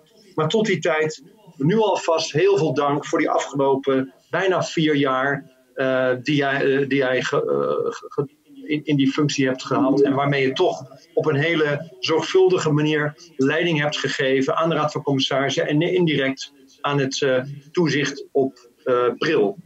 Dankjewel. Nogmaals. Dank je. Ik kom er zo nog even op terug, Marco. Ik geef even Peter het woord. Ja, Steven, uh, uh, ik wil me graag aansluiten bij de vorige sprekers en namens de directie jou ook van harte danken voor de ontzettende prettige, maar ook zeer constructieve samenwerking. Ik heb vanmorgen al enige woorden tegen je gezegd. Ik heb ook daar gezegd, net zoals Robin nu zegt, dat er nog een passend en typisch bril afscheid uh, komt. Uh, wat ik, waar ik mee wil besluiten is uh, dat jij in ieder geval nu kan zeggen na vandaag dat jij ook weer iemand bent geweest die bril verder heeft gebracht. En wij gaan zonder jou verder om dat met elkaar te blijven bereiken. En, ik, ik dank je heel erg. Dank, eh, Peter. Ik heb daar ook alle vertrouwen in eh, dat dat eh, goed zal gaan. Het was voor mij een voorrecht om commissaris te zijn. inderdaad, in het begin was het een vrij bewerkelijk commissariaat. maar we zijn, denk ik, verder gekomen. Er is ook een, een, relatie ontstaan die toch door meer vertrouwen wordt gekenmerkt. Ik heb een bijzonder veel genoegen beleefd aan het samenwerken met de directie. Uh, en ook met mijn medecommissarissen, kritische commissarissen, allemaal conscientieus. allemaal denkend in het belang van Bril met haar mooie onderneming die haar eigen eisen stelt, in aanmerking genomen alle stakeholders waar Bril mee te maken heeft en zal krijgen. En alleen maar als al die belangen in aanmerking worden genomen, zal naar mijn mening het succes van Bril gegarandeerd zijn. En die heeft een belangrijke rol te spelen. Het is een hele mooie onderneming. En mij spreekt ook uiteraard eh, de traditie van Bril heel erg aan. Alhoewel ik in het totaal niet Leids ben, is dit natuurlijk een hele mooie instelling. En het een sluit het ander bepaald niet uit. Dus uh, ja, ik, ik denk dat dat het is. Ik, ik wou ook nog, uh, en dat zou ik ook anders hebben gedaan. Uh, mijn medecommissarissen heb ik bedankt. ik heb natuurlijk met certificaathouders eh, gesproken met bepaalde certificaathouders, intensief gesproken. Ik denk dat die dialoog eh, dat die in stand moet blijven en dat ook eh, de certificaathouders zich altijd zullen moeten blijven herinneren de eigen positie van bril en wat daarvoor vereist is. Ik heb ook met veel genoegen samengewerkt, ook op moeilijke momenten met de OR, ook de steun gekregen van de OR toen ik die nodig had. Ook vorig jaar eh, in de discussie over de uitbreiding van de Raad van Commissarissen. Ook in andere discussies. Ook nu eh, deed het mij natuurlijk toch genoegen hoe fervent de OR mijn kandidatuur heeft ondersteund. Het is er niet van gekomen, maar die steun was toch prettig. Eh, en ik denk dat ik in de OR ook graag al die medewerkers bedanken. En bij Bril medewerkers bedanken, dat is natuurlijk toch iets anders dan medewerkers van een hele grote onderneming bedanken. Want het zijn eigenlijk allemaal medewerkers die heel erg direct verantwoordelijk zijn voor het succes van deze kleine, maar bijzondere onderneming. En ik zie daar de voorzitter van de ondernemingsraad in beeld. Ik groet haar hartelijk en ik verzoek haar om deze dank ook aan de eh, werknemers, de medewerkers over te brengen en hen ook eh, de motivatie toe te wensen die nodig is om eh, ja, dit succes eh, te continueren En daar spelen natuurlijk financiële prestaties een rol bij, uiteraard. Maar we moeten dat ook op langere termijn bezien. En we moeten ook ons realiseren dat wij ons richten, ik heb het net nog gezegd, op de humanities, de social sciences, sciences en een gedeelte van het recht. En dat dat toch een ander veld is dan de sciences. Ook voor uh, uitgevers. En ik kan me dat nog heel goed herinneren als commissaris van Reed Elsevier. Uh, ja, dus ik denk uh, dat ik dan, eh, tenzij ik nog iemand het woord kan geven, dat ik dan de vergadering sluit. En ik dank natuurlijk ook al degenen die hebben deelgenomen aan de vergadering, die vragen hebben gesteld en ik denk vele anderen van wie ik niet veel gehoord heb, die het hopelijk toch met belangstelling hebben gevolgd. De vergadering is gesloten.